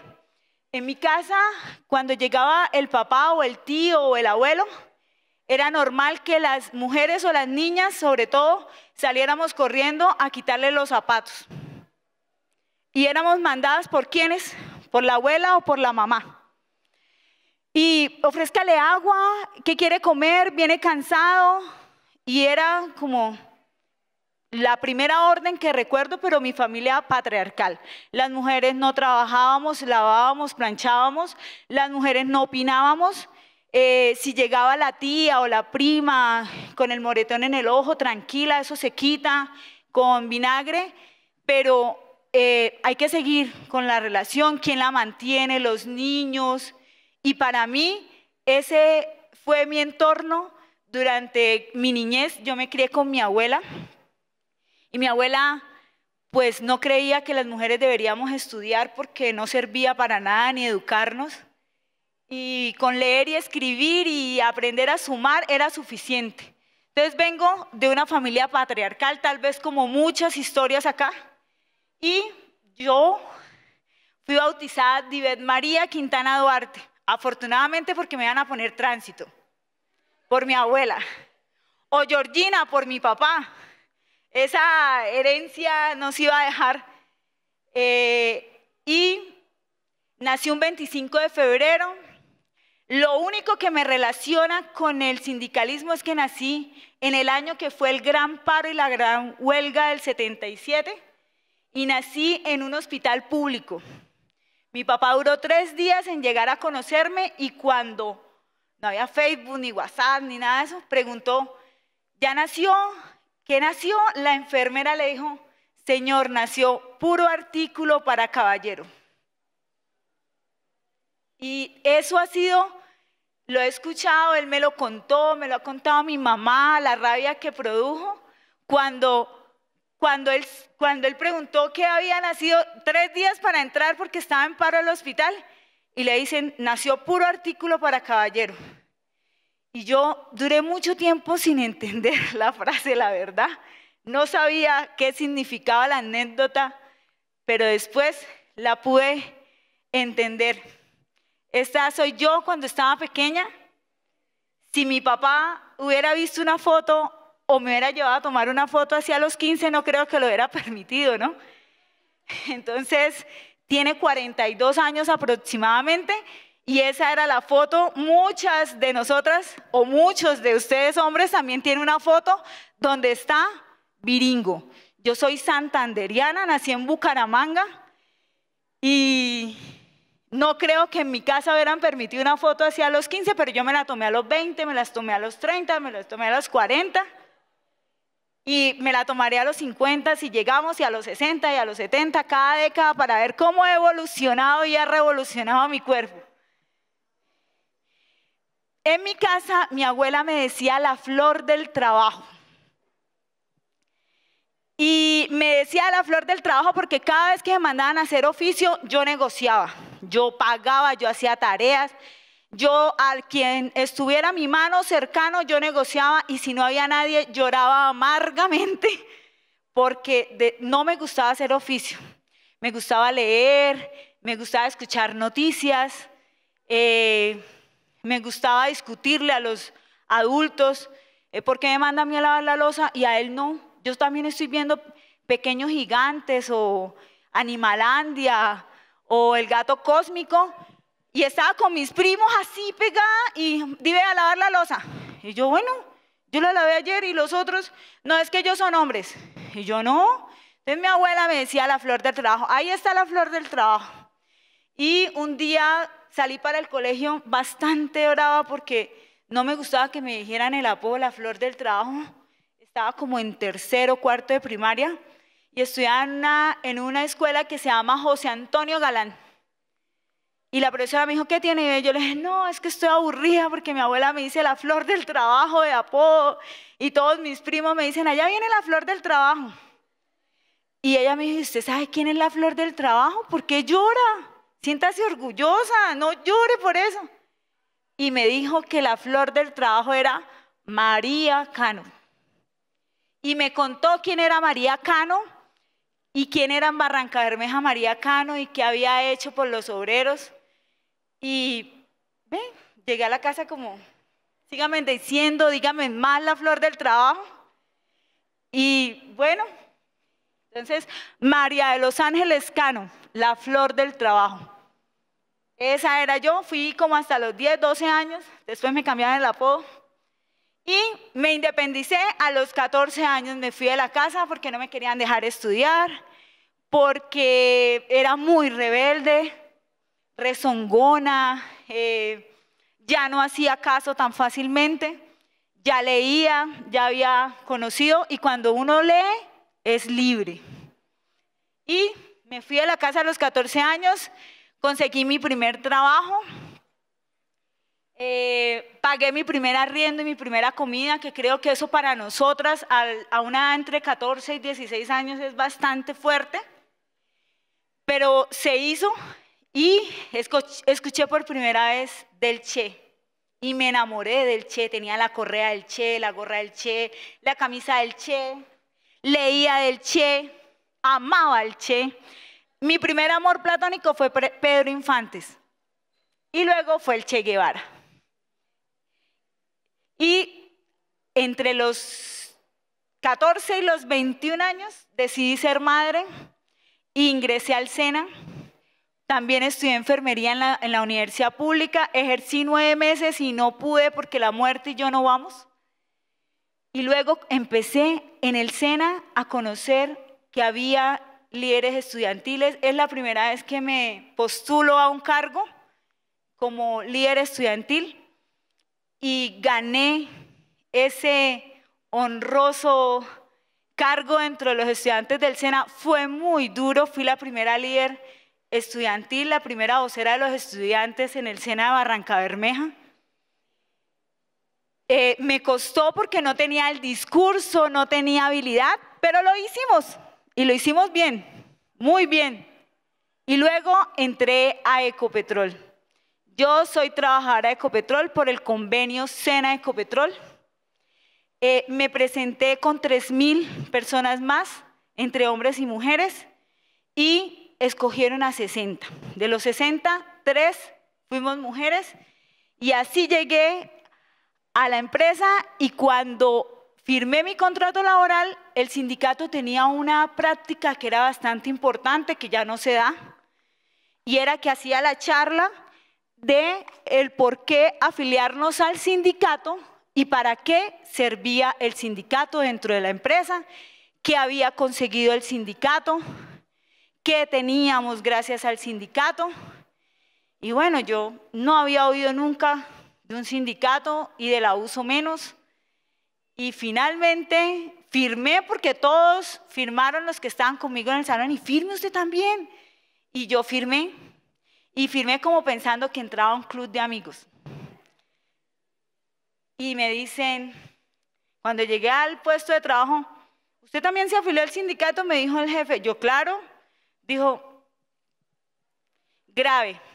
La primera operadora mujer y afiliada al sindicato, se le da la oportunidad a las mujeres de que entren a operaciones en esta industria petrolera y ahora es que afiliada al sindicato.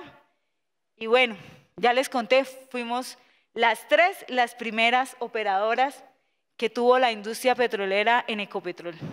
Operadoras de planta, no habían baños y encontramos que en cada planta tenían un, un cuadro, un collage de órganos femeninos, de todas las cosas femeninas. La chicholina estaba de moda en ese tiempo y era la que abundaba en, todas las plantas. Ella era reconocida, era como la bandera. Y fue un choque bastante, a los 20 años, es un choque bastante fuerte entrar a un, a un sitio donde solo hay hombres. Eh, gracias a, todo esto empecé a, a ver al apartheid que me dieron los jefes y algunos compañeros de trabajo. Empecé a estudiar el sindicato. Ya en el 2000 estaba convencida, ya hacía las pancartas, invitaba a las marchas sacaba a los compañeros a las marchas, me volví una activista, o así me decían los compañeros del sindicato que era una activista, no sé si era por el voto o era porque realmente era una activista, yo me lo creí. Y en el 2002 ya fui estigmatizada fuertemente por la patronal como una revolucionaria, eh, eh, gritona, loca, manejada por el sindicato, controlada por el sindicato, y empezaron las amenazas en Barranca Bermeja a los paramilitares, a los líderes y activistas del sindicato, y ahí entré. Es la primera vez que pues recibo una amenaza. Eh, fui llevada a un, a, un, a un proceso que se llama el móvil, que era que nos sacaron a 44 trabajadores y nos llevaron a convencernos de que estábamos equivocados en la vía del sindicato, que esa no era la vía, que la vía era la patronal, que los sindicatos no ayudaban a, la empresa, sino los destruían y que las mujeres mucho menos teníamos cabida ahí. Y en el 2004 fui desplazada por las amenazas de, la, de la empresa. La empresa sacó un comunicado donde decíamos que éramos cabecillas de la guerrilla, que éramos, eh, eh, bueno, muchas cosas. Y finalmente pues salí de Barranca Bermeja, me reubicaron en otra planta, en otro negocio, como dicen en la empresa, en el 2006. Y en el 2009, después de cinco intentos, llegué a la dirigencia sindical. Eh, ejercí la dirigencia sindical con muy pocas herramientas, sino más bien por convicción y por apasionamiento y amor, tal vez como muchas, y empecé a encontrarme en estos espacios con ustedes, porque cuando uno es dirigente puede ir a los espacios, eh, le dan capacitación, uno exige capacitación, y empecé a conocer este movimiento. Yo no sabía qué era el feminismo, ni qué era la unión de las mujeres, ni que estábamos hablando, yo creo que era más machista y patriarcal que los mismos compañeros cuando llegué al sindicato. Apoyaba todo lo que decían y me encargaba las labores de secretaria de actas, la comida, el tinto, la logística, eh, cosas que siempre estaban, pero el discurso y ya hacer el trabajo en campo, realmente no me, no, no me arriesgaba. Hasta que fui dirigente y empecé a ver que cuando las mujeres tomamos el liderazgo, se construye en organización. Las mujeres nos escuchan, los hombres nos escuchan, los jóvenes nos escuchan. Y creo que ese es el principal miedo que tiene la sociedad de que las mujeres nos volvamos líderes. Porque realmente tejemos, construimos, convencemos, pero no solamente con el, con el discurso, sino con la, con, con la práctica, con lo que hacemos, con la ética, con la confianza, con que no nos cansamos de trabajar. Llegamos de la casa cansados o cansadas y seguimos dándole y contestamos y escuchamos y lloramos y miramos qué salidas hay, pero creo que ese es el principal miedo de que nos volvamos líderes. Eh, fui amenazada y agredida físicamente en la puerta de la refinería en el 2016. Estamos todavía en esa eh, investigación de por qué, de quién. Espero algún día saberlo. Estuve eh, incapacitada 28 días. Me golpeó un supervisor de seguridad y cuatro policías en la entrada de la refinería siendo dirigente. Y bueno, estamos esperando. Y en el 2018 me postulo, por primera vez una mujer se postula a la dirigencia nacional como un acumulado de todo lo que aprendo, de todo lo que veo, de todo lo que llevo de ustedes y de muchas otras, de los foros, de los congresos, de las capacitaciones. Y digo, bueno, yo creo que ya es tiempo de que alguna postule su nombre y le pregunté a muchas que creía que tenían mucho más, más antigüedad, experiencia, bagaje, y dijeron, no, está loca, eso está lejos. Y yo dije, no toca. Y pues nos postulamos en el 2018 y no llegamos, el umbral no nos alcanzó, pero esperamos que en las próximas elecciones sí. Y no solo se postule una, sino se postulen dos y tres. Y en el 2019 tuve, eh, ahí no me quiero parar mucho porque no, no quiero hacerlo muy, muy, está muy cerca.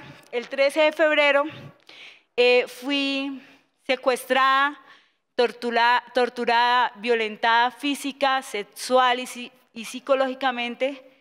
Y esto ha llevado a que esté en un proceso bastante fuerte, porque al igual que el comunicado de las compañeras, muchos no creen, eh, otros dicen que fue porque salí de la dirigencia sindical, otros dicen, compañera, usted se lo buscó, usted era dirigente de la subdirectiva, ya lleva 10 años, se verá quedado quietica ahí, pero bueno, creo que ese caminar de 20 años que está reducido, no solamente cosas negativas, sino muchas cosas positivas, que es el encontrarnos nosotras acá, de decir que deben haber foros, de poder juntarme con mis compañeras también de, que hacen parte del sindicato y decirle, nosotras no somos solamente un voto, no somos solamente de cargar ladrillos, como dicen los compañeros, yo solamente necesito quien me cargue los ladrillos, sino que debemos em, empezar no solamente a pensar, sino a poner en, en,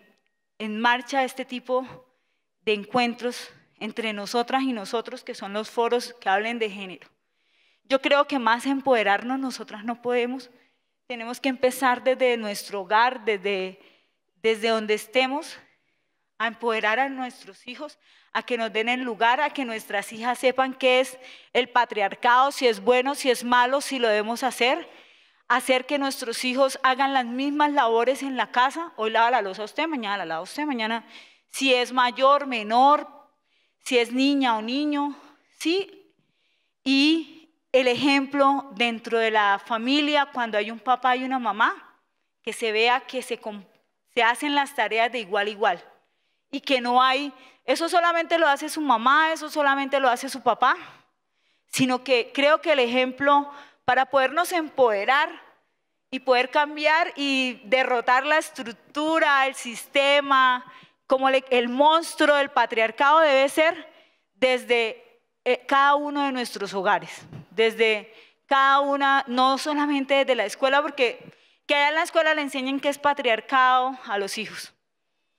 Esta frase está muy conmigo, no podría mirar a mis hijos e hijas a los ojos y decirles que ellos y ellas viven así porque yo no me animé a luchar.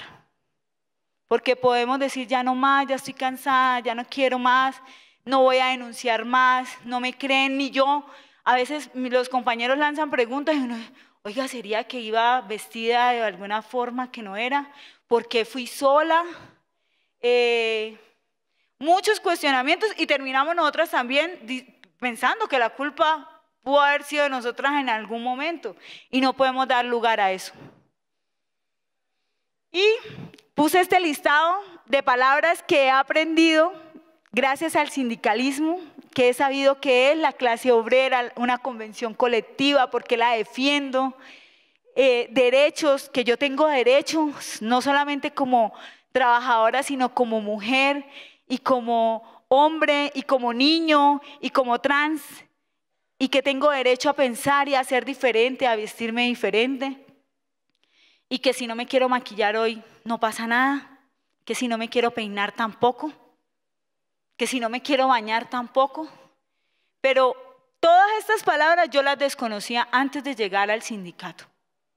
Y yo estoy viva gracias al sindicato. Yo estoy viva porque en, esta, en, este, en este caminar pude entender que nadie es superior a mí, que nadie es más fuerte, que nadie es más inteligente, que no me puedo dejar agredir ni dejar agredir a otro. Y creo que cuando en un momento de, mi agresión, cuando ya estaba amarrada, cuando ya estaba amordazada, pude ver a quien me estaba, al agresor, a los ojos y decir no. Para que pase esto, tengo que estar muerta. Y creo que cuando el agresor se da cuenta, en mi caso, de que yo no se la iba a poner tan fácil, creo que se sintió asustado. No sé si sintió miedo, pero tengo que decirles que yo estoy el empoderamiento, el saber que somos iguales, que tenemos los mismos derechos, que ya no tengo por qué llevarle los zapatos a mi esposo y quitárselos y ponerle las chancletas y llevarle el vaso de agua porque si no, no soy mujer y no sirvo y no soy buena esposa. Creo que eso se lo debo a poder pertenecer a un sindicato, a poder compartir estos espacios con ustedes, con las compañeras que me antecedieron, con Victoria, con Ruth, con Natalia, con las profes que acabaron de bajar, y que cada una tenemos una historia. La semana pasada escuchaba muchas historias de cómo llegamos al sindicato. Una me dijo, yo llegué porque yo quería que me mataran, porque hace 24 años a todos los dirigentes sindicales los mataban y yo fui víctima de una violación muy fuerte. Tres días me violaron los paramilitares en Urabá y después que me soltaron, mi esposo me dejó porque estaba sucia. La ignorancia. Y luego mis hijos me estigmatizaban, la sociedad me estigmatizaba y yo no fui capaz de suicidarme, de cortarme las venas, de envenenarme. Y yo dije, no, me voy a volver líder sindical para que me maten. Para que los que me hicieron lo que me hicieron. Y luego encontré que había mujeres iniciando, que nos apoyamos en redes, que empezamos a hacer foro, que empezamos a hablar y a pensar y a construir y a realizar. Y eso estamos haciendo, ya no estamos solamente pensando, ahora estamos realizando. Y por eso hay que aplaudir este foro que nos invita a estar acá, que nos permite estar acá, escuchándonos, aprendiendo, aprendiendo nuevos términos, a saber por qué somos realmente feministas y si realmente somos feministas y en la casa somos como dijo la compañera esta mañana, somos el che en la calle y Pinochet en la casa? ¿O realmente sí somos feministas todo el tiempo, pensamos, somos sororas con nuestras compañeras? Eh, nos, nos apoyamos, así sea con un abrazo, así sea con escuchar, y no estamos señalándonos, no estamos criticándonos, no estamos pensando que si ella llegó al poder no fue por buena, sino porque alguien la puso ahí. Y apoyándonos en todo sentido. Estas son algunas mujeres que puse en esta, en esta página de la, de la ponencia. Primero porque fui policarpa cuando estaba en Manuela, Manuela Beltrán cuando estuve en el colegio.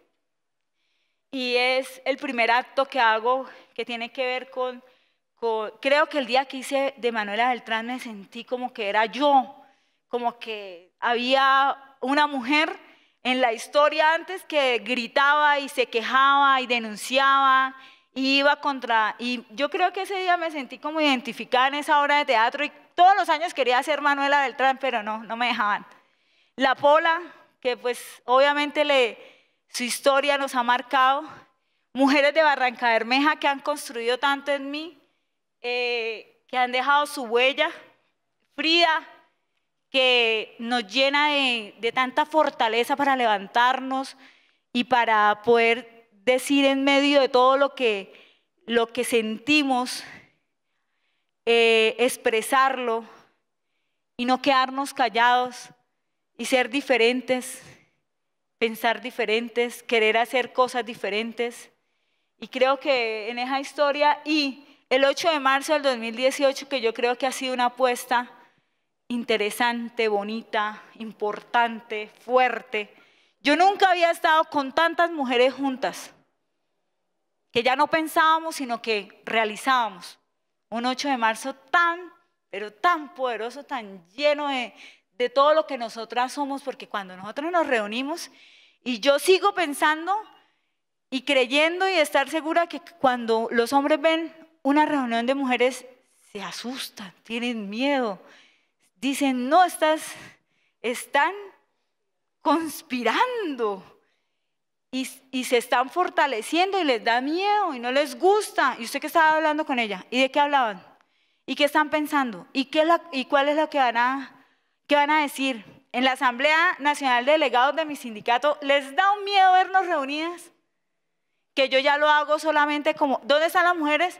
y me, las busco y las sumo y trato de hablar con ellas y de convencerlas que no, no es que mi partido no me deja, tengo que estar allá con mi partido, tengo la reunión de mi colectivo, no, no, no, no, no podemos.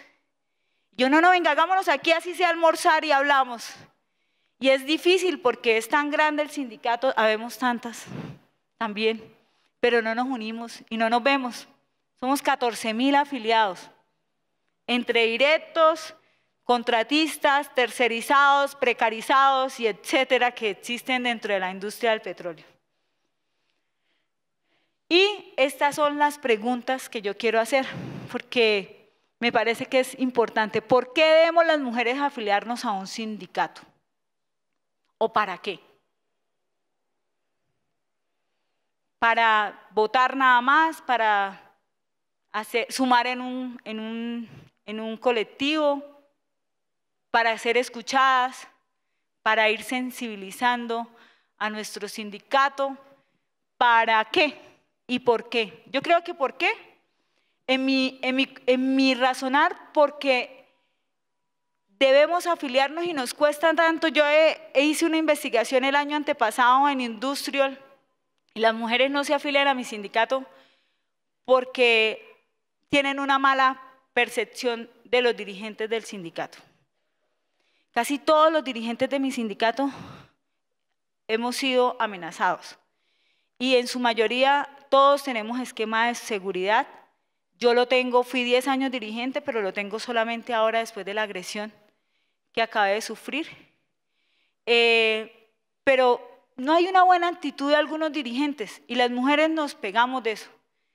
Nos pegamos de cosas pequeñas para decir, no, es que no quiero ser parte de eso. Y no, debemos afiliarnos al sindicato para defender nuestros derechos. No solamente cuando somos agredidas, cuando somos vulneradas, cuando no nos, no, hay un, no subimos en el escalafón y los compañeros sí sufren, sino que de que iniciamos un contrato laboral en una empresa, ¿dónde está el sindicato? Pero porque ya sabemos que el sindicato es quien va a estar acompañándonos, creemos, y debe ser así, quien va a defendernos, quien va a dar la apuesta por nosotros los trabajadores y trabajadoras. Y porque los sindicatos existen es no para acabar empresas, sino para construir, para mejorar, para robustecer las empresas. Una empresa que tiene un sindicato es una empresa importante que tiene desarrollo. Entonces, cuando uno llega a la empresa, le dicen, usted va a ganar tanto, va a ganar. Y uno no sabe que detrás de eso está un sindicato. Hay muertos, hay convenciones, hay huelgas. No lo sabe, o yo no lo sabía. Muchos tal vez han tenido otras estructuras, pero la mía no. Ventajas de estar afiliadas a un sindicato.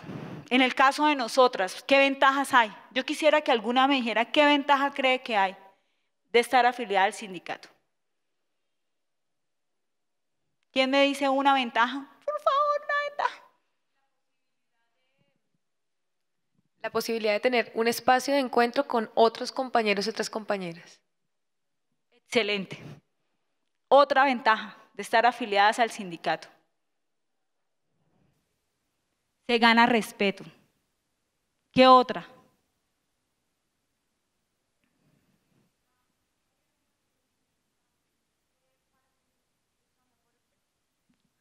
Bueno, yo creo que eh, estar en un sindicato y en estas organizaciones políticas, eh, aparte, eh, una ventaja para nosotras las mujeres es que luchamos por, por, nuestros derechos, pero también por cambiar las cosas establecidas. Entonces, nuestros derechos, pero también como los sindicatos, mejor país y bueno, cambiar las cosas para nuestra clase.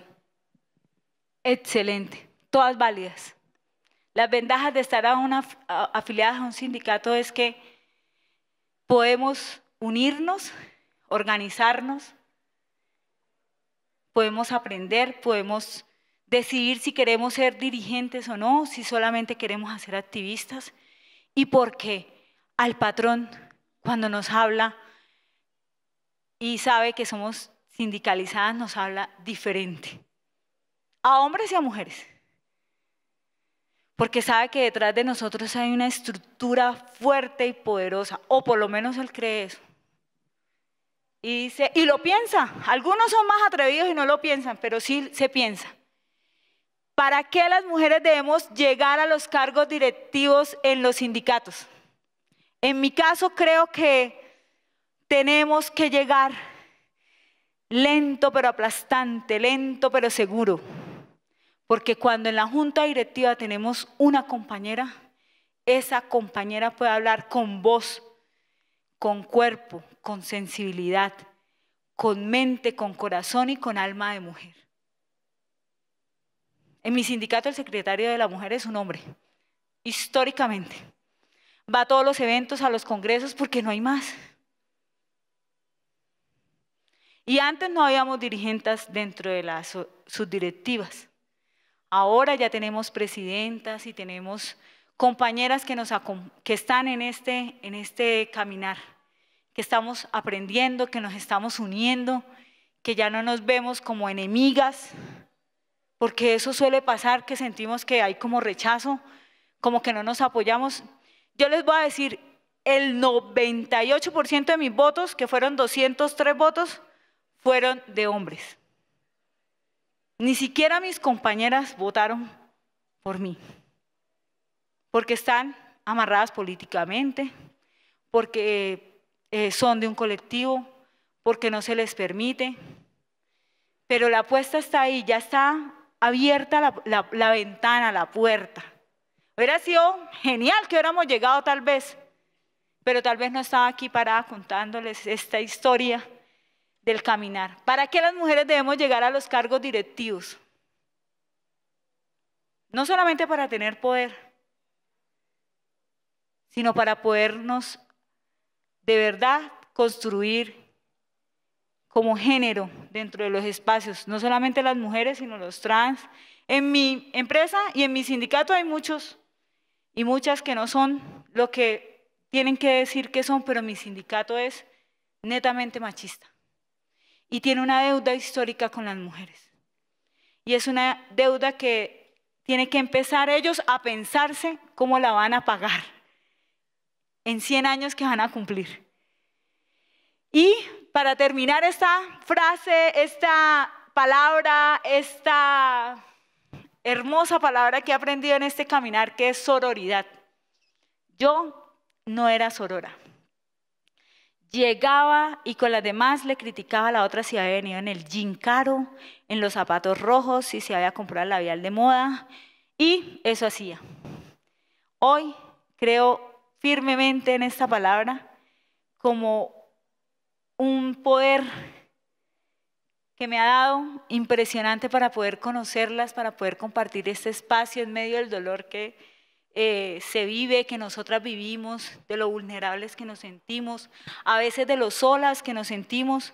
Yo hablaba con las profesoras de FECODE y ellas son muchas mujeres, pero hay muy, pero mucha poca sororidad, muy poquita, bastante menos sororidad.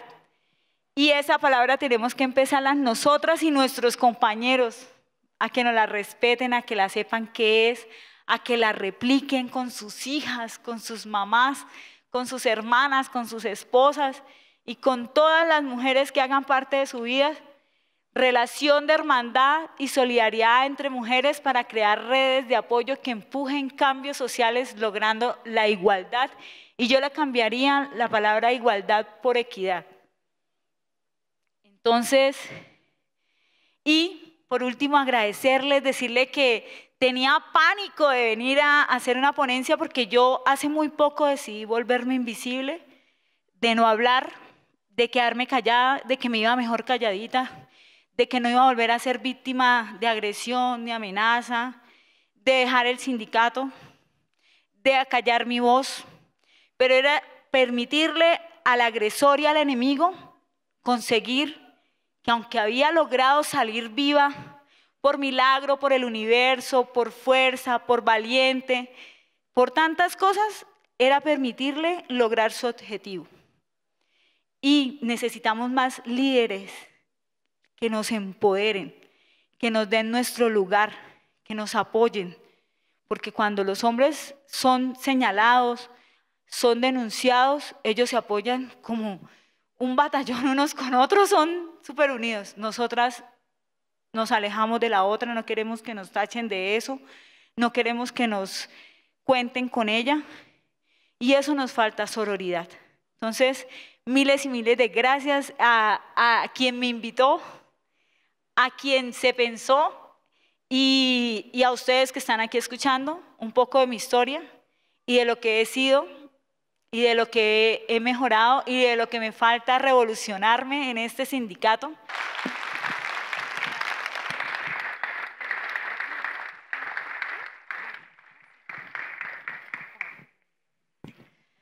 Bueno, entonces vamos a dar el uso de la palabra a tres personas que quieran preguntarle algo a Divet. ¿Una? ¿Quién más?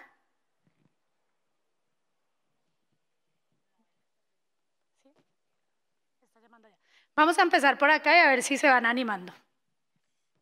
Buenas tardes, compañera. Eh, yo soy la delegada general de Truncubit, Sindicato de Empleadas Domésticas de Bogotá. Cuando hacía, o sea, colocaron el cuadro de los de las amenazas, mm, no me, o sea, no me impresionó tanto por la trayectoria que llevas en tu, en tu vida sindical. Hace, nosotros creamos sindicato hace poco y hacía mucho no hablaba con un amigo y me escribió por Facebook. O sea, colocamos una, una publicación del sindicato y palabras textuales me dijo, perdón, marica, se va a hacer matar. Yo trabajé con él en un hotel aquí en Bogotá, él es de acá, y yo le dije, pero ¿por qué? ¿Para qué se metió en eso? Que no sé qué. Entonces empecé como que sí, yo para qué, por qué, o sea, yo no sé, y, y el susto es impresionante. La pregunta es, cómo se vive siendo sindicalista y sabiendo que tengas la trayectoria muy amplia o muy corta, siempre, si hablamos de sindicatos, de sindicalistas, siempre sinónimo es amenaza, muerte, rebelde, rebelión, o sea, todo lo negativo. ¿Cómo se vive con eso? Para mí la pregunta es, o sea, la respuesta es muy importante porque estamos empezando y, y he querido tirar la toalla una vez en todo el tiempo, pero es asusta y asusta mucho. ¿Alguien más?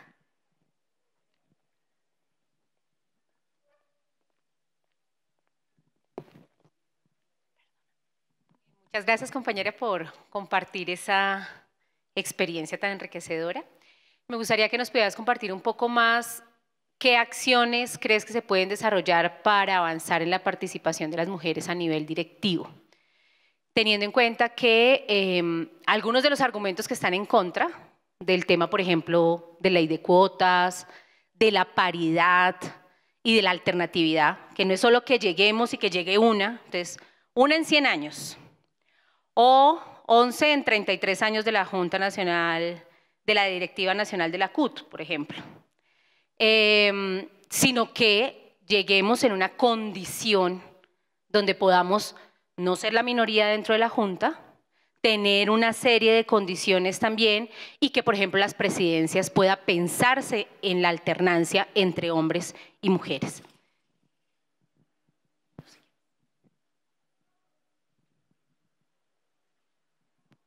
Yo le voy a contestar su pregunta. Creo que el sentir miedo cuando hacemos parte de un sindicato, sea nuevo o sea como el mío, que ya va a cumplir un siglo, es algo que debe ser, hace parte del proceso, ¿sí? Hace parte del proceso para saber la convicción que se tiene. Después de que yo salí del hospital ahora, en febrero, eh, mi hijo pequeño ha sido el que más me ha puesto a pensar en el tema de qué hago en el sindicato, de que si vale la pena y sí vale la pena. Vale la pena cuando podemos hacer valer el derecho de, las compañeras en el caso, que son muchas ustedes, y de los compañeros, cuando logramos hacer que un derecho se respete, se valore, se cumpla. Vale la pena, yo sé que es difícil y por eso venir a estos foros y conocer a tanta gente con tanta trayectoria como la que la academia que pasó hoy por este que nos ha antecedido y quien falta, que creo que son ustedes, para que podamos aprender y darnos entre nosotras unidad, no sentirnos solas. Creo que eso es bastante importante. Y contesto como un poco en que está en nosotras, en unirnos, en construir, en tejer, para que no solamente llegue una al sindicato, porque mi sindicato lleva 100 años y no ha llegado ninguna, no ha llegado ni una sola a la, directiva hay sindicatos que el 90% está compuesto por mujeres. Y la ley de cuotas tal vez sería importante, pero yo he vivido, yo viví en mi sindicato que me llevaban a un, a un congreso y si era fuera del país era más. Usted, si hay votación, primero me pregunta a mí, ¿por quién va a votar? Y yo, ¿por qué? No, porque acuérdese que yo fui quien la traje, ¿no? Si quiere volver a venir a estos espacios, y un día en unas elecciones un compañero, para darle un ejemplo de lo que puede pasar, me dijo, eh, yo iba en una, en una lista para una subdirectiva, para un candidato, apoyaba a un candidato, y en la reunión del colectivo me dijeron, eh, mañana usted va a votar por Julanito. Yo no, pero yo estoy en la plancha del otro compañero. No, pero usted va a votar por... No pregunte, no piense. Yo no, no, no, no, no. Yo aquí no, no, es, no debo estar. Yo pienso, yo voto, yo elijo. Cuando, y eso, esas herramientas nos las dan estos foros. Y estamos en la apuesta que es, y estamos en el camino que es. Es duro, es difícil, tenemos el sistema, tenemos a los mismos compañeros que nos dicen, ¿qué quiere? ¿Se quiere hacer matar? ¿Hasta cuándo va a seguir ahí? La familia te hostiga, llora, eh, hacemos sentir mal a nuestros hijos.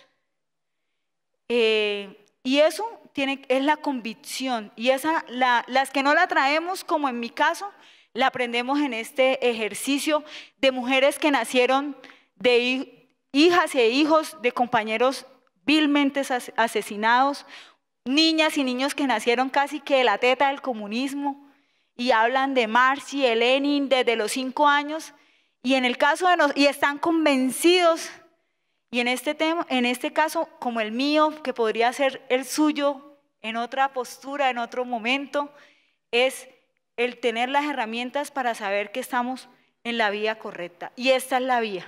El sindicalismo es la vía. Un día mi hijo mayor me llevó a la universidad porque un profesor le dijo que los, sindicalistas éramos de estómago, que éramos vagos, que no íbamos a trabajar. Y mi hijo le dijo, profesor, eso no es cierto, mi madre es dirigente sindical. Y el profesor le dijo, a que su mamá no viene a, contarnos acá. Y no me conocía el profesor. No lo convencía el profesor, pero por lo menos dos o tres de esa universidad privada que estudió mi hijo, muy neoliberal, eh, de los Puyana, de este país, creo que a alguno le quedó el mensaje que los sindicatos construimos, los dirigentes somos trabajadores y trabajadoras, que queremos un mundo mejor, que queremos un trabajo mejor, que queremos mejores oportunidades para los jóvenes, para las mujeres, hombres que se están educando para poder ejercer los trabajos que nosotras tenemos y nosotros tenemos hoy. Creo que esa es la apuesta, compañera. No sé si respondí, pero espero haberlo hecho bien. ¿Hay alguna pregunta? No, para que siga mi compañera. ¿Quién sigue? Gracias.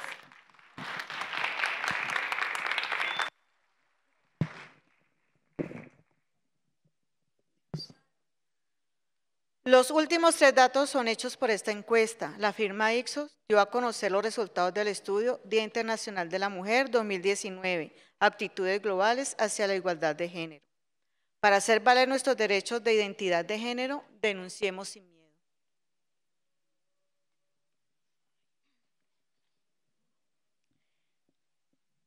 Invitamos a nuestra ponente Ruth Erika Partuz Rodríguez.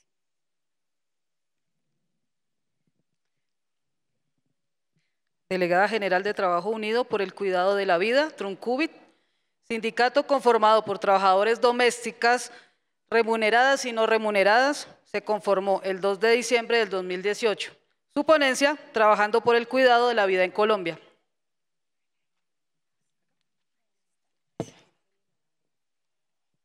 Buenas tardes a todos y todas los que les parece importante quedarse antes de irse a ver el partido. Muchísimas gracias. Esto es parte, o sea, esto es parte de considerar y de querer que todas estas cosas que hablamos aquí no se queden en el papel, sino que sean hechos. Gracias por quedarse. Eh, bueno, les cuento un poquito. Eh, Truncubit es un sindicato que fue creado el 2 de diciembre del año pasado. Eh, contamos con el apoyo del Fondo de Justicia Social Unifor de Canadá, eh, la ONG Paso Internacional y un grupo de trabajo de la Universidad Nacional.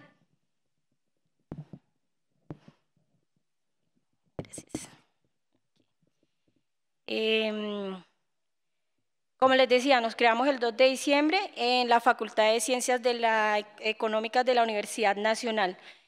Em, bueno, aquí más de uno debe tener en su casa empleada doméstica, ¿cierto? Ah, bueno, y si no la tienen, tienen a la mamá, el hermano, la hermana, la prima y la abuela. Y les quiero decir algo. El trabajo doméstico remunerado y no remunerado se realiza en Colombia. Yo creo que es uno de los oficios más antiguos. Y a pesar de ser el más antiguo, es el más o sea, el que menos se valora. Eh, dejo la media allí tirada, pues mi mamá la recoge. Dejo el baño sucio, la lava la muchacha, eh, etcétera. O sea, cosas que está estigmatizado. Eh, y tanto es que está estigmatizado que el 80% de las mujeres colombianas realizan el trabajo no remunerado. Y esto, esto implica que el 20,4% del Producto Interno Bruto es de unos es de uno, un, perdón, 186 billones de pesos. O sea, nuestro trabajo mueve la economía del mundo y del país. Y aunque muchos lo tengan en poco, pues fíjense qué tan importante es. Es muy importante. Como caso personal, les cuento, eh, en mi trabajo yo soy, soy técnico en jardín infantil y por cuestiones de la vida me tocó seguir de empleada doméstica porque no, no hay trabajo. Aunque tú te capacites, no hay trabajo.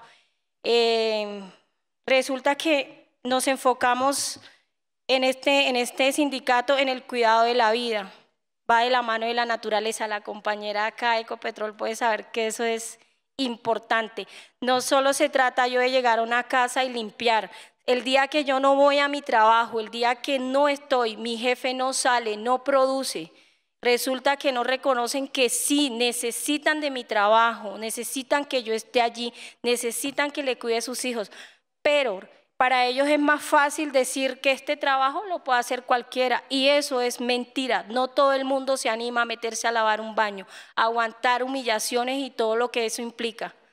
Resulta que yo trabajo cuidando dos niños y me tocó dos días seguidos irme a una clínica al country a cuidar los hijos de alguien mientras mi mamá cuida a mis hijas en otra ciudad. ¿Saben lo difícil que es? O sea, mi hija mayor se ha enfermado veces este mes y yo no estoy ahí. No he estado ahí y quisiera estar ahí y no he podido. Entonces, el trabajo doméstico no es solo lavar, es cuidar, o sea, llegar yo a mi trabajo, tener todo limpio, evitar enfermedad. Yo duro dos días sin ir a mi trabajo, el fin de semana encuentro una casa patas arriba, que si comen en esos platos se enferman, que si la ropa está sucia es un desorden. Entonces, no sé por qué no valoran este trabajo, no sé por qué lo tienen en poco. Tal vez porque por la misma causa que yo también lo tenía en poco. No sabía que mi trabajo movía la economía no sabía cuán importante era mi trabajo. Yo pensaba que, bueno, ay, qué chévere, doña fulana me dio el trabajo y para tener plática. Resulta y pasa que esa plata no cubre, cubre mis necesidades económicas, pero me aleja de mi familia. Yo soy de un pueblo al norte de Bolívar. La única persona que me está acompañando aquí de mi familia ahorita es mi prima, es la única persona. A mí me hubiese gustado que mis hijas estuvieran aquí. ¿Y sabe por qué digo me hubiese gustado porque no es, no es fácil ni ser empleada doméstica, ni ser profesor, ni ser nada, y mucho menos es, es fácil ser todo esto y encima de todo medírsele al sindicalismo. Y como lo conté ahorita, yo entre el 2 de diciembre y todo el mundo, sí, Ruth, yo soy como Mafalda, rebelde de nacimiento. Mi papá, yo estaba en séptimo y me dijo, las mujeres no pueden estudiar porque van a buscar machos. Yo terminé mi bachillerato en la nocturna por ahí metí la cabeza. Ahora, hace el año pasado, apenas en diciembre acabé de estudiar, entonces yo lo traigo en mí y me asusta, o sea, me asusta mucho porque la persona que les decía que me había dicho que se va a hacer matar marica era una persona con la que yo hace mucho ni siquiera hablaba. Y yo, ay, ve, me escribió Fernando y fue Fernando me escribió, fue para decirme eso.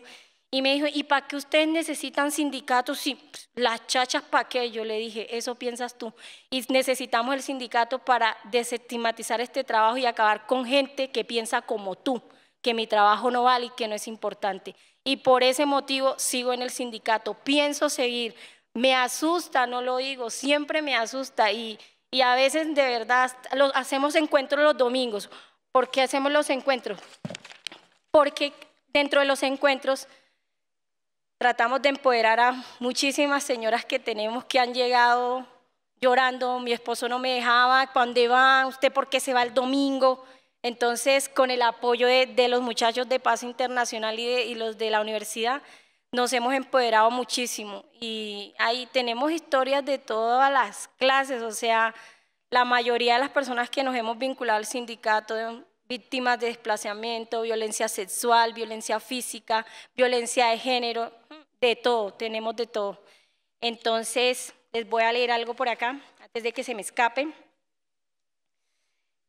Nuestro sindicato además cuenta nuestra perspectiva sobre el cuidado doméstico remunerado y no remunerado y de personal de servicios generales comprende dimensiones ambientales de género y paz territorial.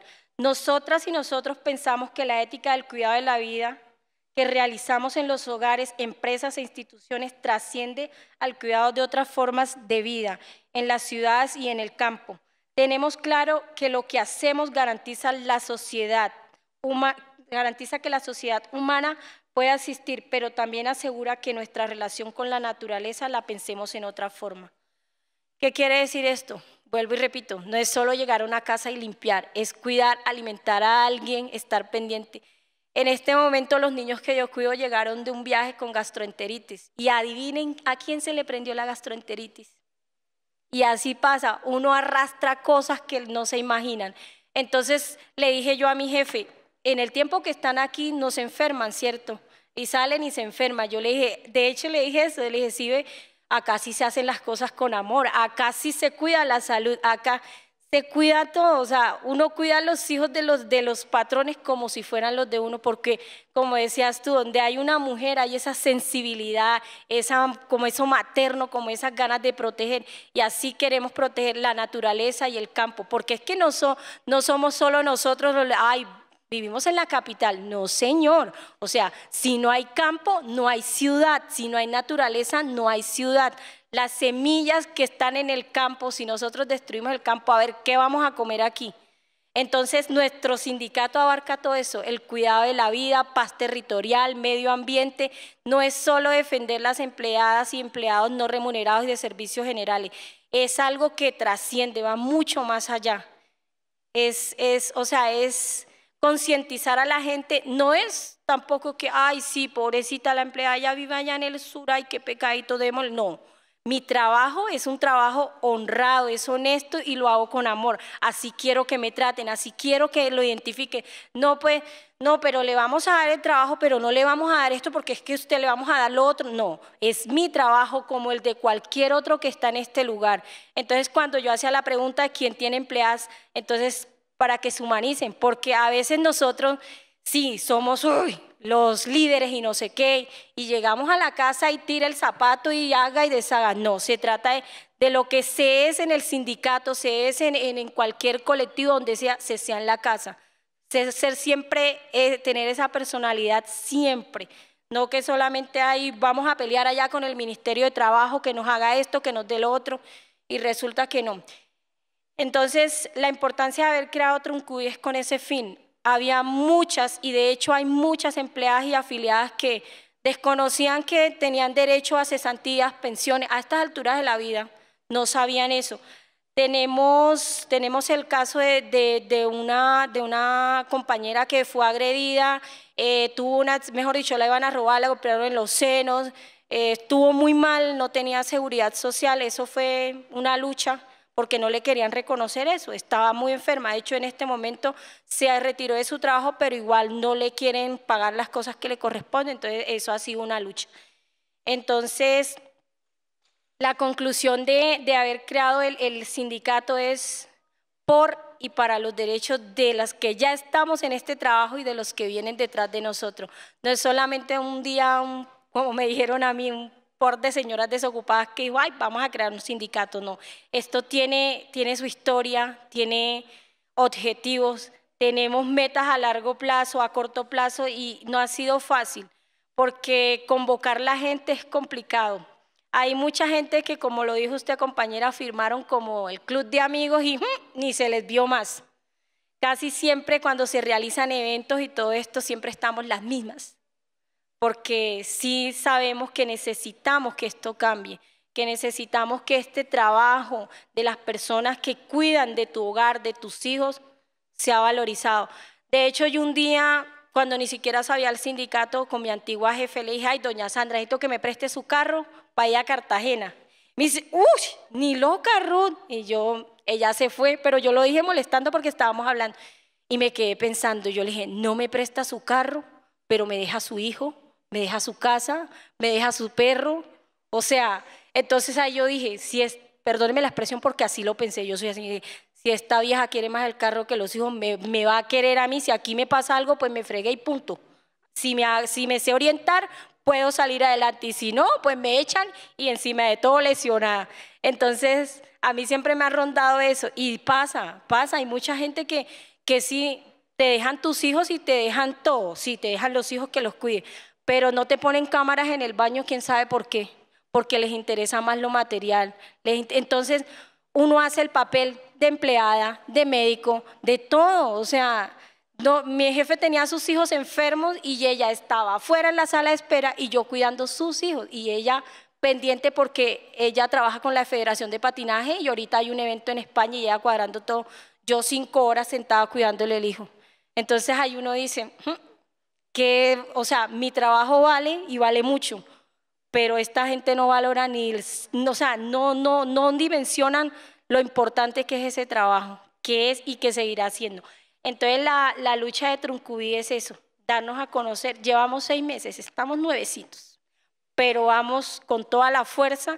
Esperamos contar con el apoyo de los que ya nos llevan carrera y si tienen empleadas en su casa, siempre acuérdense eso. Este es un trabajo duro. En mi caso es duro, vuelvo y repito, mis hijas cuatro años lejos de mí se han enfermado más de una vez y yo no he estado ahí, aunque quisiera, no he estado.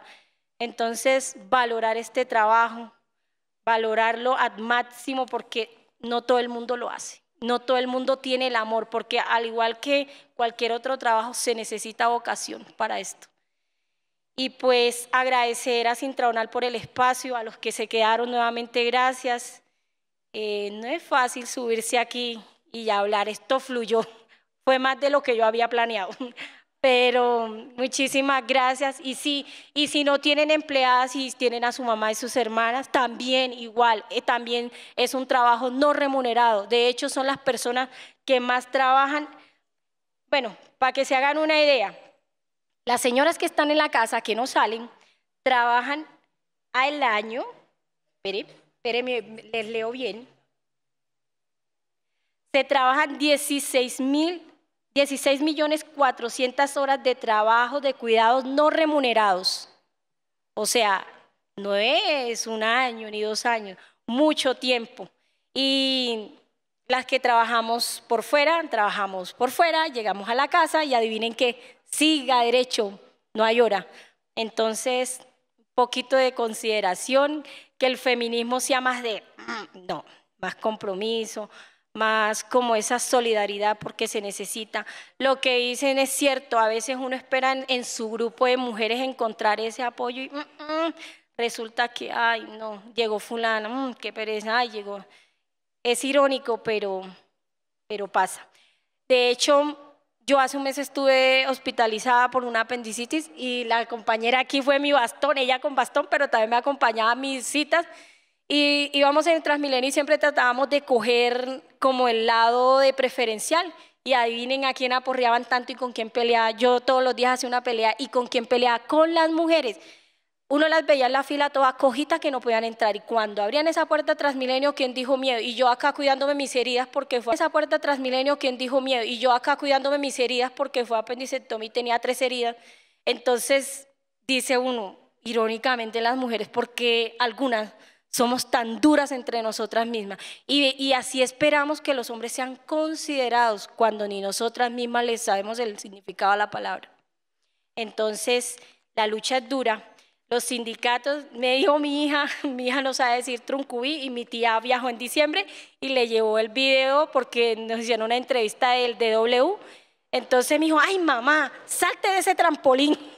y yo, te van a matar. O sea, ya hasta los niños ya le han cometido esa idea y yo como que no, eso no es, no es así, no, pero uno humanamente se asusta y pues uno ve tantos líderes amenazados y yo digo, bueno, que van a amenazar a una empleada doméstica, pero el día que se, le da a uno por rebotar y exigir algo, obviamente vamos a hacer un, un, como ahí, el foco de atracción y si lo puede llegar que lo amenacen a uno. Pero de todas maneras hay que hacer el camino porque alguien lo tiene que hacer, alguien tiene que hacer el trabajo. Y si me tocó a mí, yo soy como Mafalda, rebelde por nacimiento, y al pan pan y al vino vino. Y me tocó a mí, me tocó a mí. Así cuando puso Mafalda me reía mucho, dije, ah, yo lo hubiera hecho. Mafalda, sí, entonces yo les agradezco muchísimo, de verdad, y mucho apoyo para nosotros que estamos empezando. Gracias. Muchas gracias a la intervención de la compañera Ruth. Eh, si tienen alguna pregunta.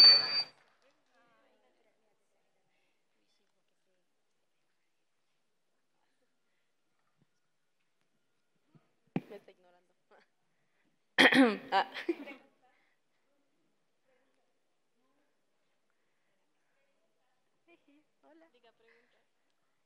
Eh, bueno, eh, yo quería saber, digamos, si bien eh, es un poco extraño, o bueno, para mí es nuevo saber que pues las empleadas domésticas remuneradas o no tienen un sindicato, ese proceso que se hace con las familias de estas mujeres para que cambien esa idea de que sindicalizarse es algo negativo, de que se pone en riesgo la vida. ¿Cómo se hace ese proceso para que las familias cambien esa mirada y puedan entender que pues el trabajo doméstico es un trabajo y más allá de eso el sindicalismo es una forma de sobrevivir a las violencias económicas, a las violencias de género que tenemos en esta sociedad pues neoliberal y que cada vez está peor. Eso y, saber cómo, cómo, cómo llegaron al punto de, de decir entre mujeres que son empleadas domésticas, necesitamos sindicalizarnos para que nuestro trabajo sea reconocido eh, de una forma que sea valorado, más bien, no reconocido sino valorado, porque pues todo el mundo sabe que hay empleadas domésticas, pero el trabajo no se valora porque lo asumen como algo que no es importante, pero ese cuidado de estar con los hijos, o sea, de cuidar una casa, porque además es como yo te pongo en mis manos mis pertenencias, pero además te pongo la vida de mis hijos. Eh, ¿cómo, ¿cómo, desde ese punto llegaron a, la eh, pues sí, llegaron a la conclusión de que hay que hacer reconocer el trabajo de las mujeres eh, que trabajan en, en las casas?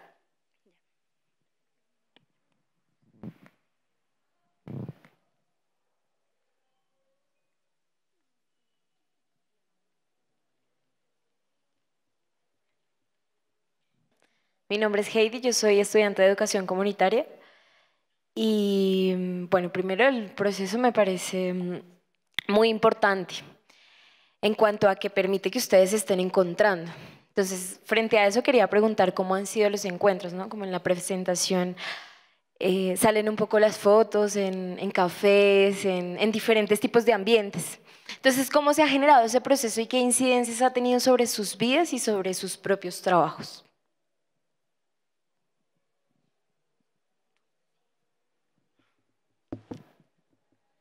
Bueno, eh, primero que todo, pues valorar el, el trabajo que, que, hicieron al recoger y hacer eh, pues un sindicato de trabajadoras domésticas. Yo pues quisiera también contar que mi abuela y mi mamá también trabajaron en casas y, también sé cuando uno es niño pues que los llevan al trabajo.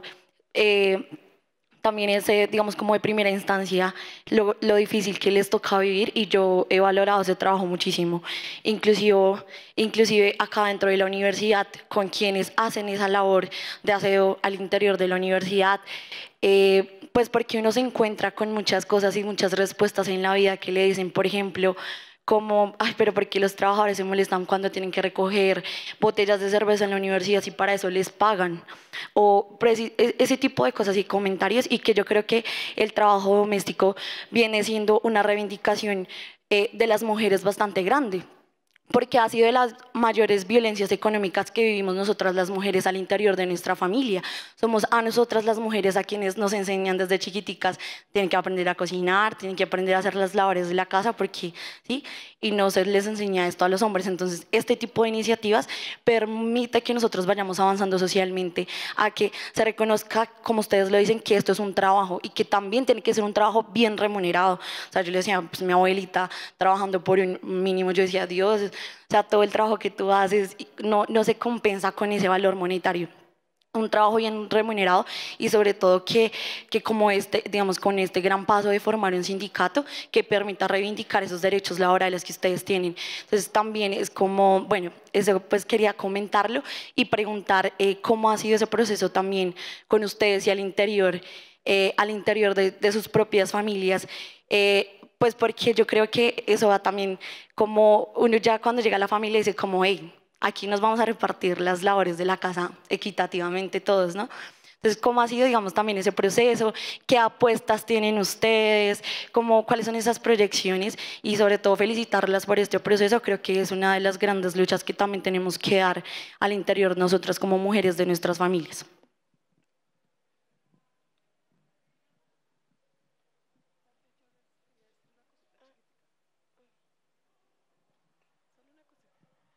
Eh, solo quisiera aprovechar para comentarles que en Cali desde hace muchos años existe la Unión de Trabajadoras del Hogar, Ultrahogar, que también tiene una experiencia pues muy cercana a la que ustedes nos han contado y llevan muchos años trabajando y yo conozco pues gran parte de las mujeres que, dirigentes de esta experiencia y durante 20, 30 años que llevan haciendo este trabajo en Ultrahogar, eh, ellas se han cualificado muchísimo, han sido líderes, eh, han, trabajado pues en todo el proceso de organización y liderazgo y hoy en día son defensoras de los derechos sexuales, es decir, ampliaron su marco de acción de manera impresionante. Entonces, pues si en algo les puede apoyar o quisieran conocer la experiencia, les puedo hacer el puente para que... Bien, no, pues mi nombre es Julián Olaya, soy estudiante de educación comunitaria con énfasis en derechos humanos. Eh, hago parte de un proceso, un proyecto de profesionalización. Y pues lo primero que tengo que decirles a ustedes es ofrecerles excusas. Ofrecerles excusas por, por no haber firmado en ningún club de amigos para estar acá. Eh, pero me parece que no estoy en el lugar equi- equi- equivocado. Creo que estoy en el lugar correcto. Eh, me parece muy importante eh, este tipo de eventos. Eh, ¿Y por qué es importante? Porque este presente ya dejó de serlo. Pasó a ser el pretérito. Un pretérito, pero no un pretérito cualquiera. Un pretérito que deja huellas. Un pretérito que deja huellas, que marca el horizonte para, que, para quienes vienen detrás. Detrás de ustedes hay un cúmulo, hay un sinnúmero de seres humanos que están y que necesitan ver este horizonte. Eh, nada, eh, tenemos una deuda histórica los hombres, claro que sí. Y para ello, pues quiero regalarles una frase. La palabra enseña, pero el ejemplo arrastra. Y pues lastimosamente en nuestro ejercicio de proyecto de grado no pude hacerlo realidad. Eh, pues tengo una, una propuesta en marcha en mi cabeza frente a esto. Yo fui uno de los primeros que me cuestioné por qué el nivel de mujeres en las participaciones de los diferentes eventos políticos, sociales y demás es tan, es tan, tan bajo. Pues realmente quise mirar los microgobiernos de los colegios y mirar ese aspecto, porque creo fielmente que es desde allí desde donde podemos hacer un diagnóstico, un análisis y una propuesta que permita que las mujeres que están atrás, esas niñas que están allá atrás, eh, comiencen a, empoderarse y empiecen a seguir esas huellas que ustedes están dejando. Entonces, pues pensé en venir acá a ver si de pronto a alguien le interesa esa propuesta. Y nada, eh, ¿por qué eh, no hay hombres acá? Yo considero que todo lo que ustedes han dicho es invaluable, pero no hay hombres y son los que deben de escuchar o somos los que debemos escuchar este tipo de cosas. El desconocimiento de esto es lo que hace que hombres sigan cometiendo errores, viéndolo como un ejemplo o como un- una cultura natural. Entonces, sí me parece muy importante. Y dejaría como propuesta que para, la siguiente, para el siguiente foro nacional de género, eh, cada mujer traiga dos hombres. Cada mujer traiga dos hombres. ¿Y quiere que les diga por qué? Porque hay hombres como yo, hombres que escuchamos, apoyamos y nos ubicamos al lado de las mujeres. A ustedes, todas ustedes, mil gracias y en nombre de todos los hombres, mil disculpas por, por nuestros eh, malos comportamientos. Muchas gracias.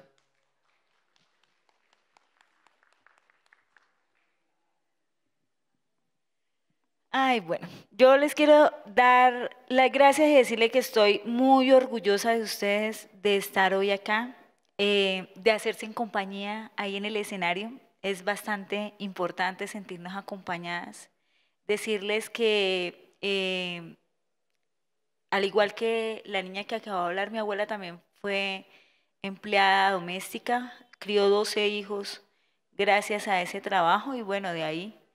eh, y cuando uno oye en el contexto, se va a cuando era niño y no valoraban lo que hacía la mamá, la abuela, la tía.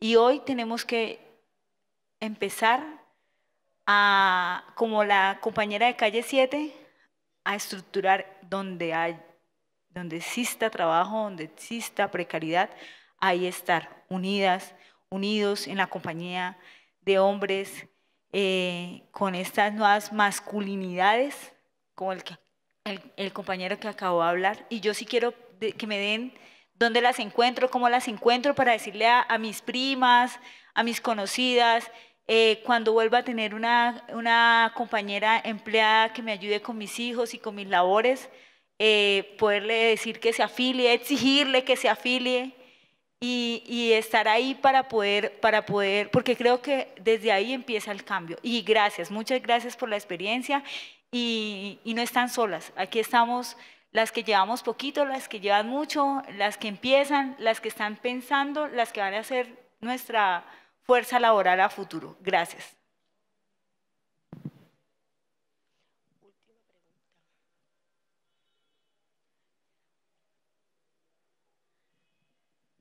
Bueno, compañeras, de verdad, muchísimas gracias a las compañeras de género, a todas esas compañeras que hicieron ese esfuerzo de estar acá con nosotros. Eh, me perdí la intervención de la compañera que antecedió a la compañera que estaba interviniendo cuando entré, la compañera del abuso. Me pareció súper su historia, su berraquera, y mujeres como usted eh, son las que deben seguir un ejemplo y cambiar el mundo. Y pues nos tuvimos que retirar las compañeras porque se presentó una situación ahorita con los estudiantes eh, vendedores de chazas con el presidente del sindicato Sintra UPN y pues nos pidieron apoyo para estar allí para respaldarlo a él. Y me perdí esa exposición de ella. Entonces, pues nada, agradecerles.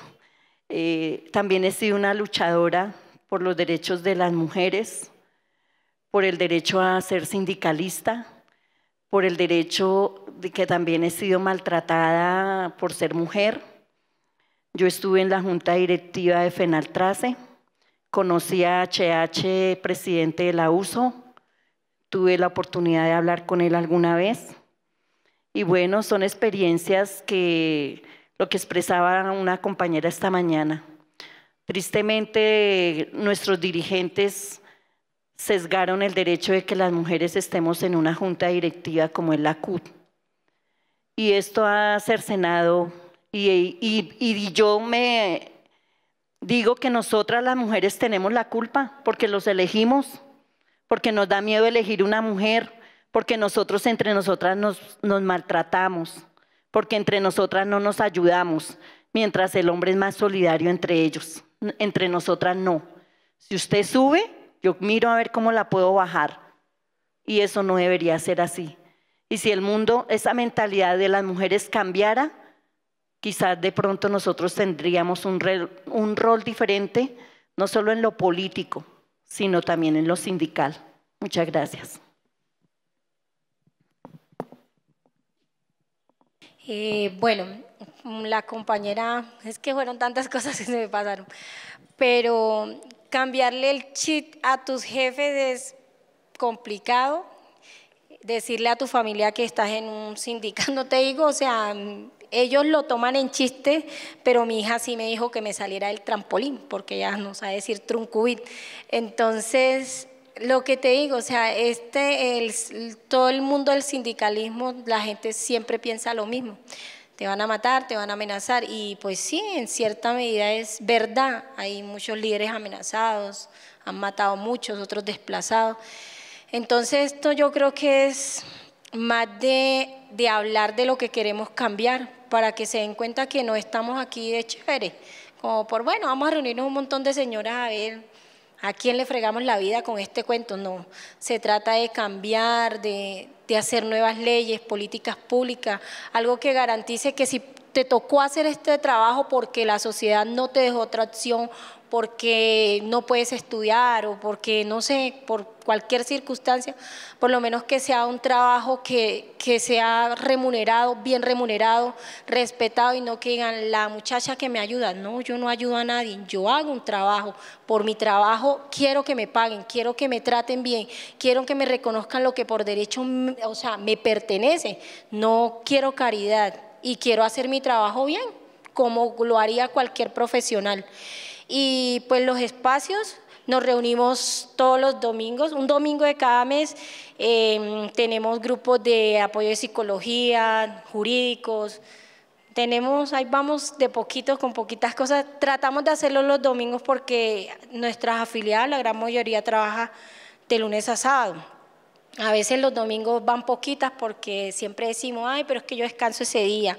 O sea, estamos tan como naturalizando tanto este trabajo, yo descanso ese día, ese día lavas, cocinas, haces todo lo que no hiciste en la semana. Entonces tratamos que sea los domingos porque como romper ese, ese esquema de la rutina, de lunes a viernes, el trabajo, no. Hacemos cosas muy bonitas, hacemos ejercicios de sanación, llevamos personas que nos cuenten sus historias, entonces Señora. Sí, para cambiarla, como salir de, de, ese el trabajo, o sea, hacer otra cosa, tomamos refrigerio, lloramos porque hemos llorado. Tuvimos una reunión con uno de nuestros financiadores de Uniform y era un señor grande, un gringo, y lo hicimos llorar tipo lloró a moco tendido con nosotros, porque todos teníamos una historia, había alguien que había sido violada por su hermano, había alguien que ha sido desplazada, alguien que el marido, ¿para dónde va? Le pegaba cuando iba para los encuentros, o sea, tenemos historias fuertes, fuertes, entonces este señor todo bien puesto, un gringo todo alto con traductor, entonces le decía a la traductora que qué, y ella le empezó, y el señor con el ojo aguado y abrazando a todo el mundo cuando se fue. Entonces son o sea, somos esa parte sensible, esa parte humana, entonces tratamos de sacar a otras personas, otras compañeras que están peor que nosotros porque las hay. Entonces tratamos de sacarla de ese, de ese, como ese espacio todo tensionado y llevarlas a otro lugar. ¿Y cómo hacemos que nuestra familia se cumpla eso? Yo, por lo menos yo lo hice. Yo un día sin saber de, leyes, de sindicato, nada, un día estaba cansada, yo trabajaba de 7 a 6 de la tarde y llegaba y encontraba a mi marido acostado y el control. Y yo dije, no más, ese día no cociné, al día siguiente tampoco. ¿Y tú no vas a cocinar? Pues yo qué hacía, yo comía bien en mi trabajo. Yo le dije, no, es que estamos los dos, imposible que tú no hagas ni un arroz. Y ese fue el truco cambio porque ya como a la semana siguiente, entonces sí, ya hice el arroz, ya hice el jugo, entonces te toca a ti lo, ah, pudo, ¿verdad? Entonces a veces nosotras somos las sinvergüenzas que no importa, llegamos. Ahorita yo, esto, mira, lo ha puesto, más de una llega a hacer algo a su casa y ya su esposo está frente al televisor esperando el partido de Colombia. Entonces no, no se trata de que el hombre sea el malo, nosotros también somos, no somos cuerpo glorioso, yo también vengo cansada, yo necesito descansar, compartamos las cargas como cualquier cosa. Entonces es un trabajo, lleva su tiempo como todo, pero nos corresponde hacerlo, a alguien le toca hacerlo, entonces nos tocó a nosotros. Bueno, yo quiero decir algo súper rápido. Mi nombre es Juliana Ortiz, yo soy delegada de Paso Internacional, la ONG que está acompañando a Truncubic en todo su proceso de formación como sindicato. Como lo dijo Ruth, nosotros hacemos asesoría legal, eh, jurídica, les explicamos cuáles son sus derechos laborales, si ellas tienen algún inconveniente con sus contratos, sus riesgos laborales, etc. Eh, asesoramiento psicológico, cuando ellas tienen pues dificultades con sus familias, personales, de su historia.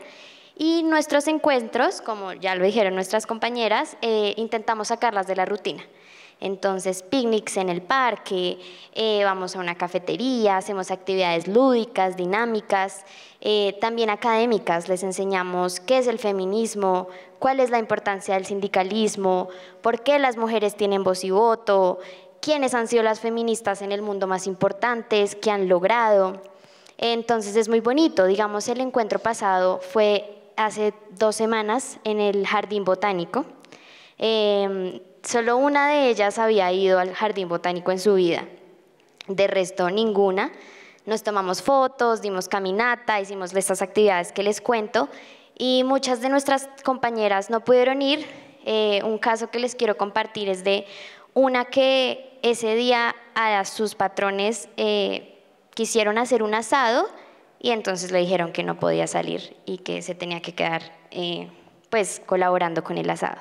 Y tristemente ella era una de las que más entusiasmada estaba por ir a este encuentro. Entonces, como lo dijo Ruth, muchas de ellas ya han normalizado eh, este tipo de actividades y uno de nuestros retos, no solo como Truncubic, sino como nosotros como Paso Internacional ONG, es cambiarles el chip también a ellas no solo a los patrones ni a las familias, sino que ellas se den cuenta que ellas un día pueden decir, no, hoy quiero ir a estudiar, hoy quiero leer, hoy quiero irme a reunir con mis compañeras del sindicato, sin que estén en riesgo de perder su trabajo o que su esposo o su, su compañero de vida las maltrate o no las deje.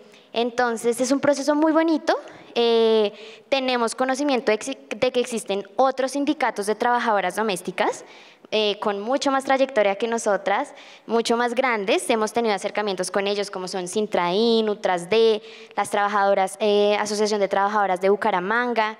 Entonces, somos varios para que tengan conocimiento de eso y, ya, lo que, lo que nos hace diferentes a nosotras como Truncubic es este enfoque de paz territorial y de cuidado del medio ambiente que nosotras le damos, porque no es solo trabajo doméstico, sino trabajo de cuidado, como lo decía Ruth.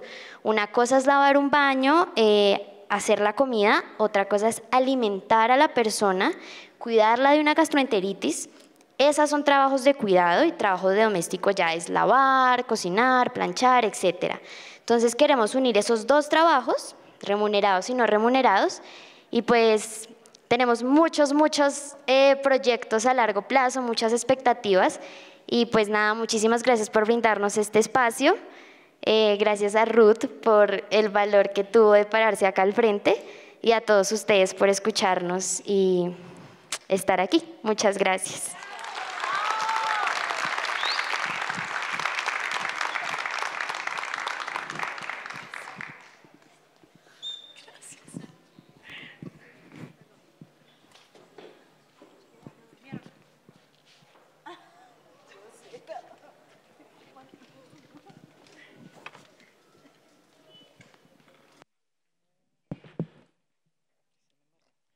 De nuevo queremos expresarle nuestro agradecimiento por el acompañamiento a esta jornada, a este segundo Foro Nacional de Género. Un especial agradecimiento a las conferencistas, a la Secretaría de Género de las diferentes subdirectivas a nivel nacional y a la Junta Directiva del Sindicato, quien nos ha apoyado para la realización de este evento. Queremos dar las gracias a la Universidad Pedagógica por abrir sus puertas, por abrir este espacio para que juntos sigamos construyendo un país con mayor igualdad de género. Muchas gracias a ustedes por asistir.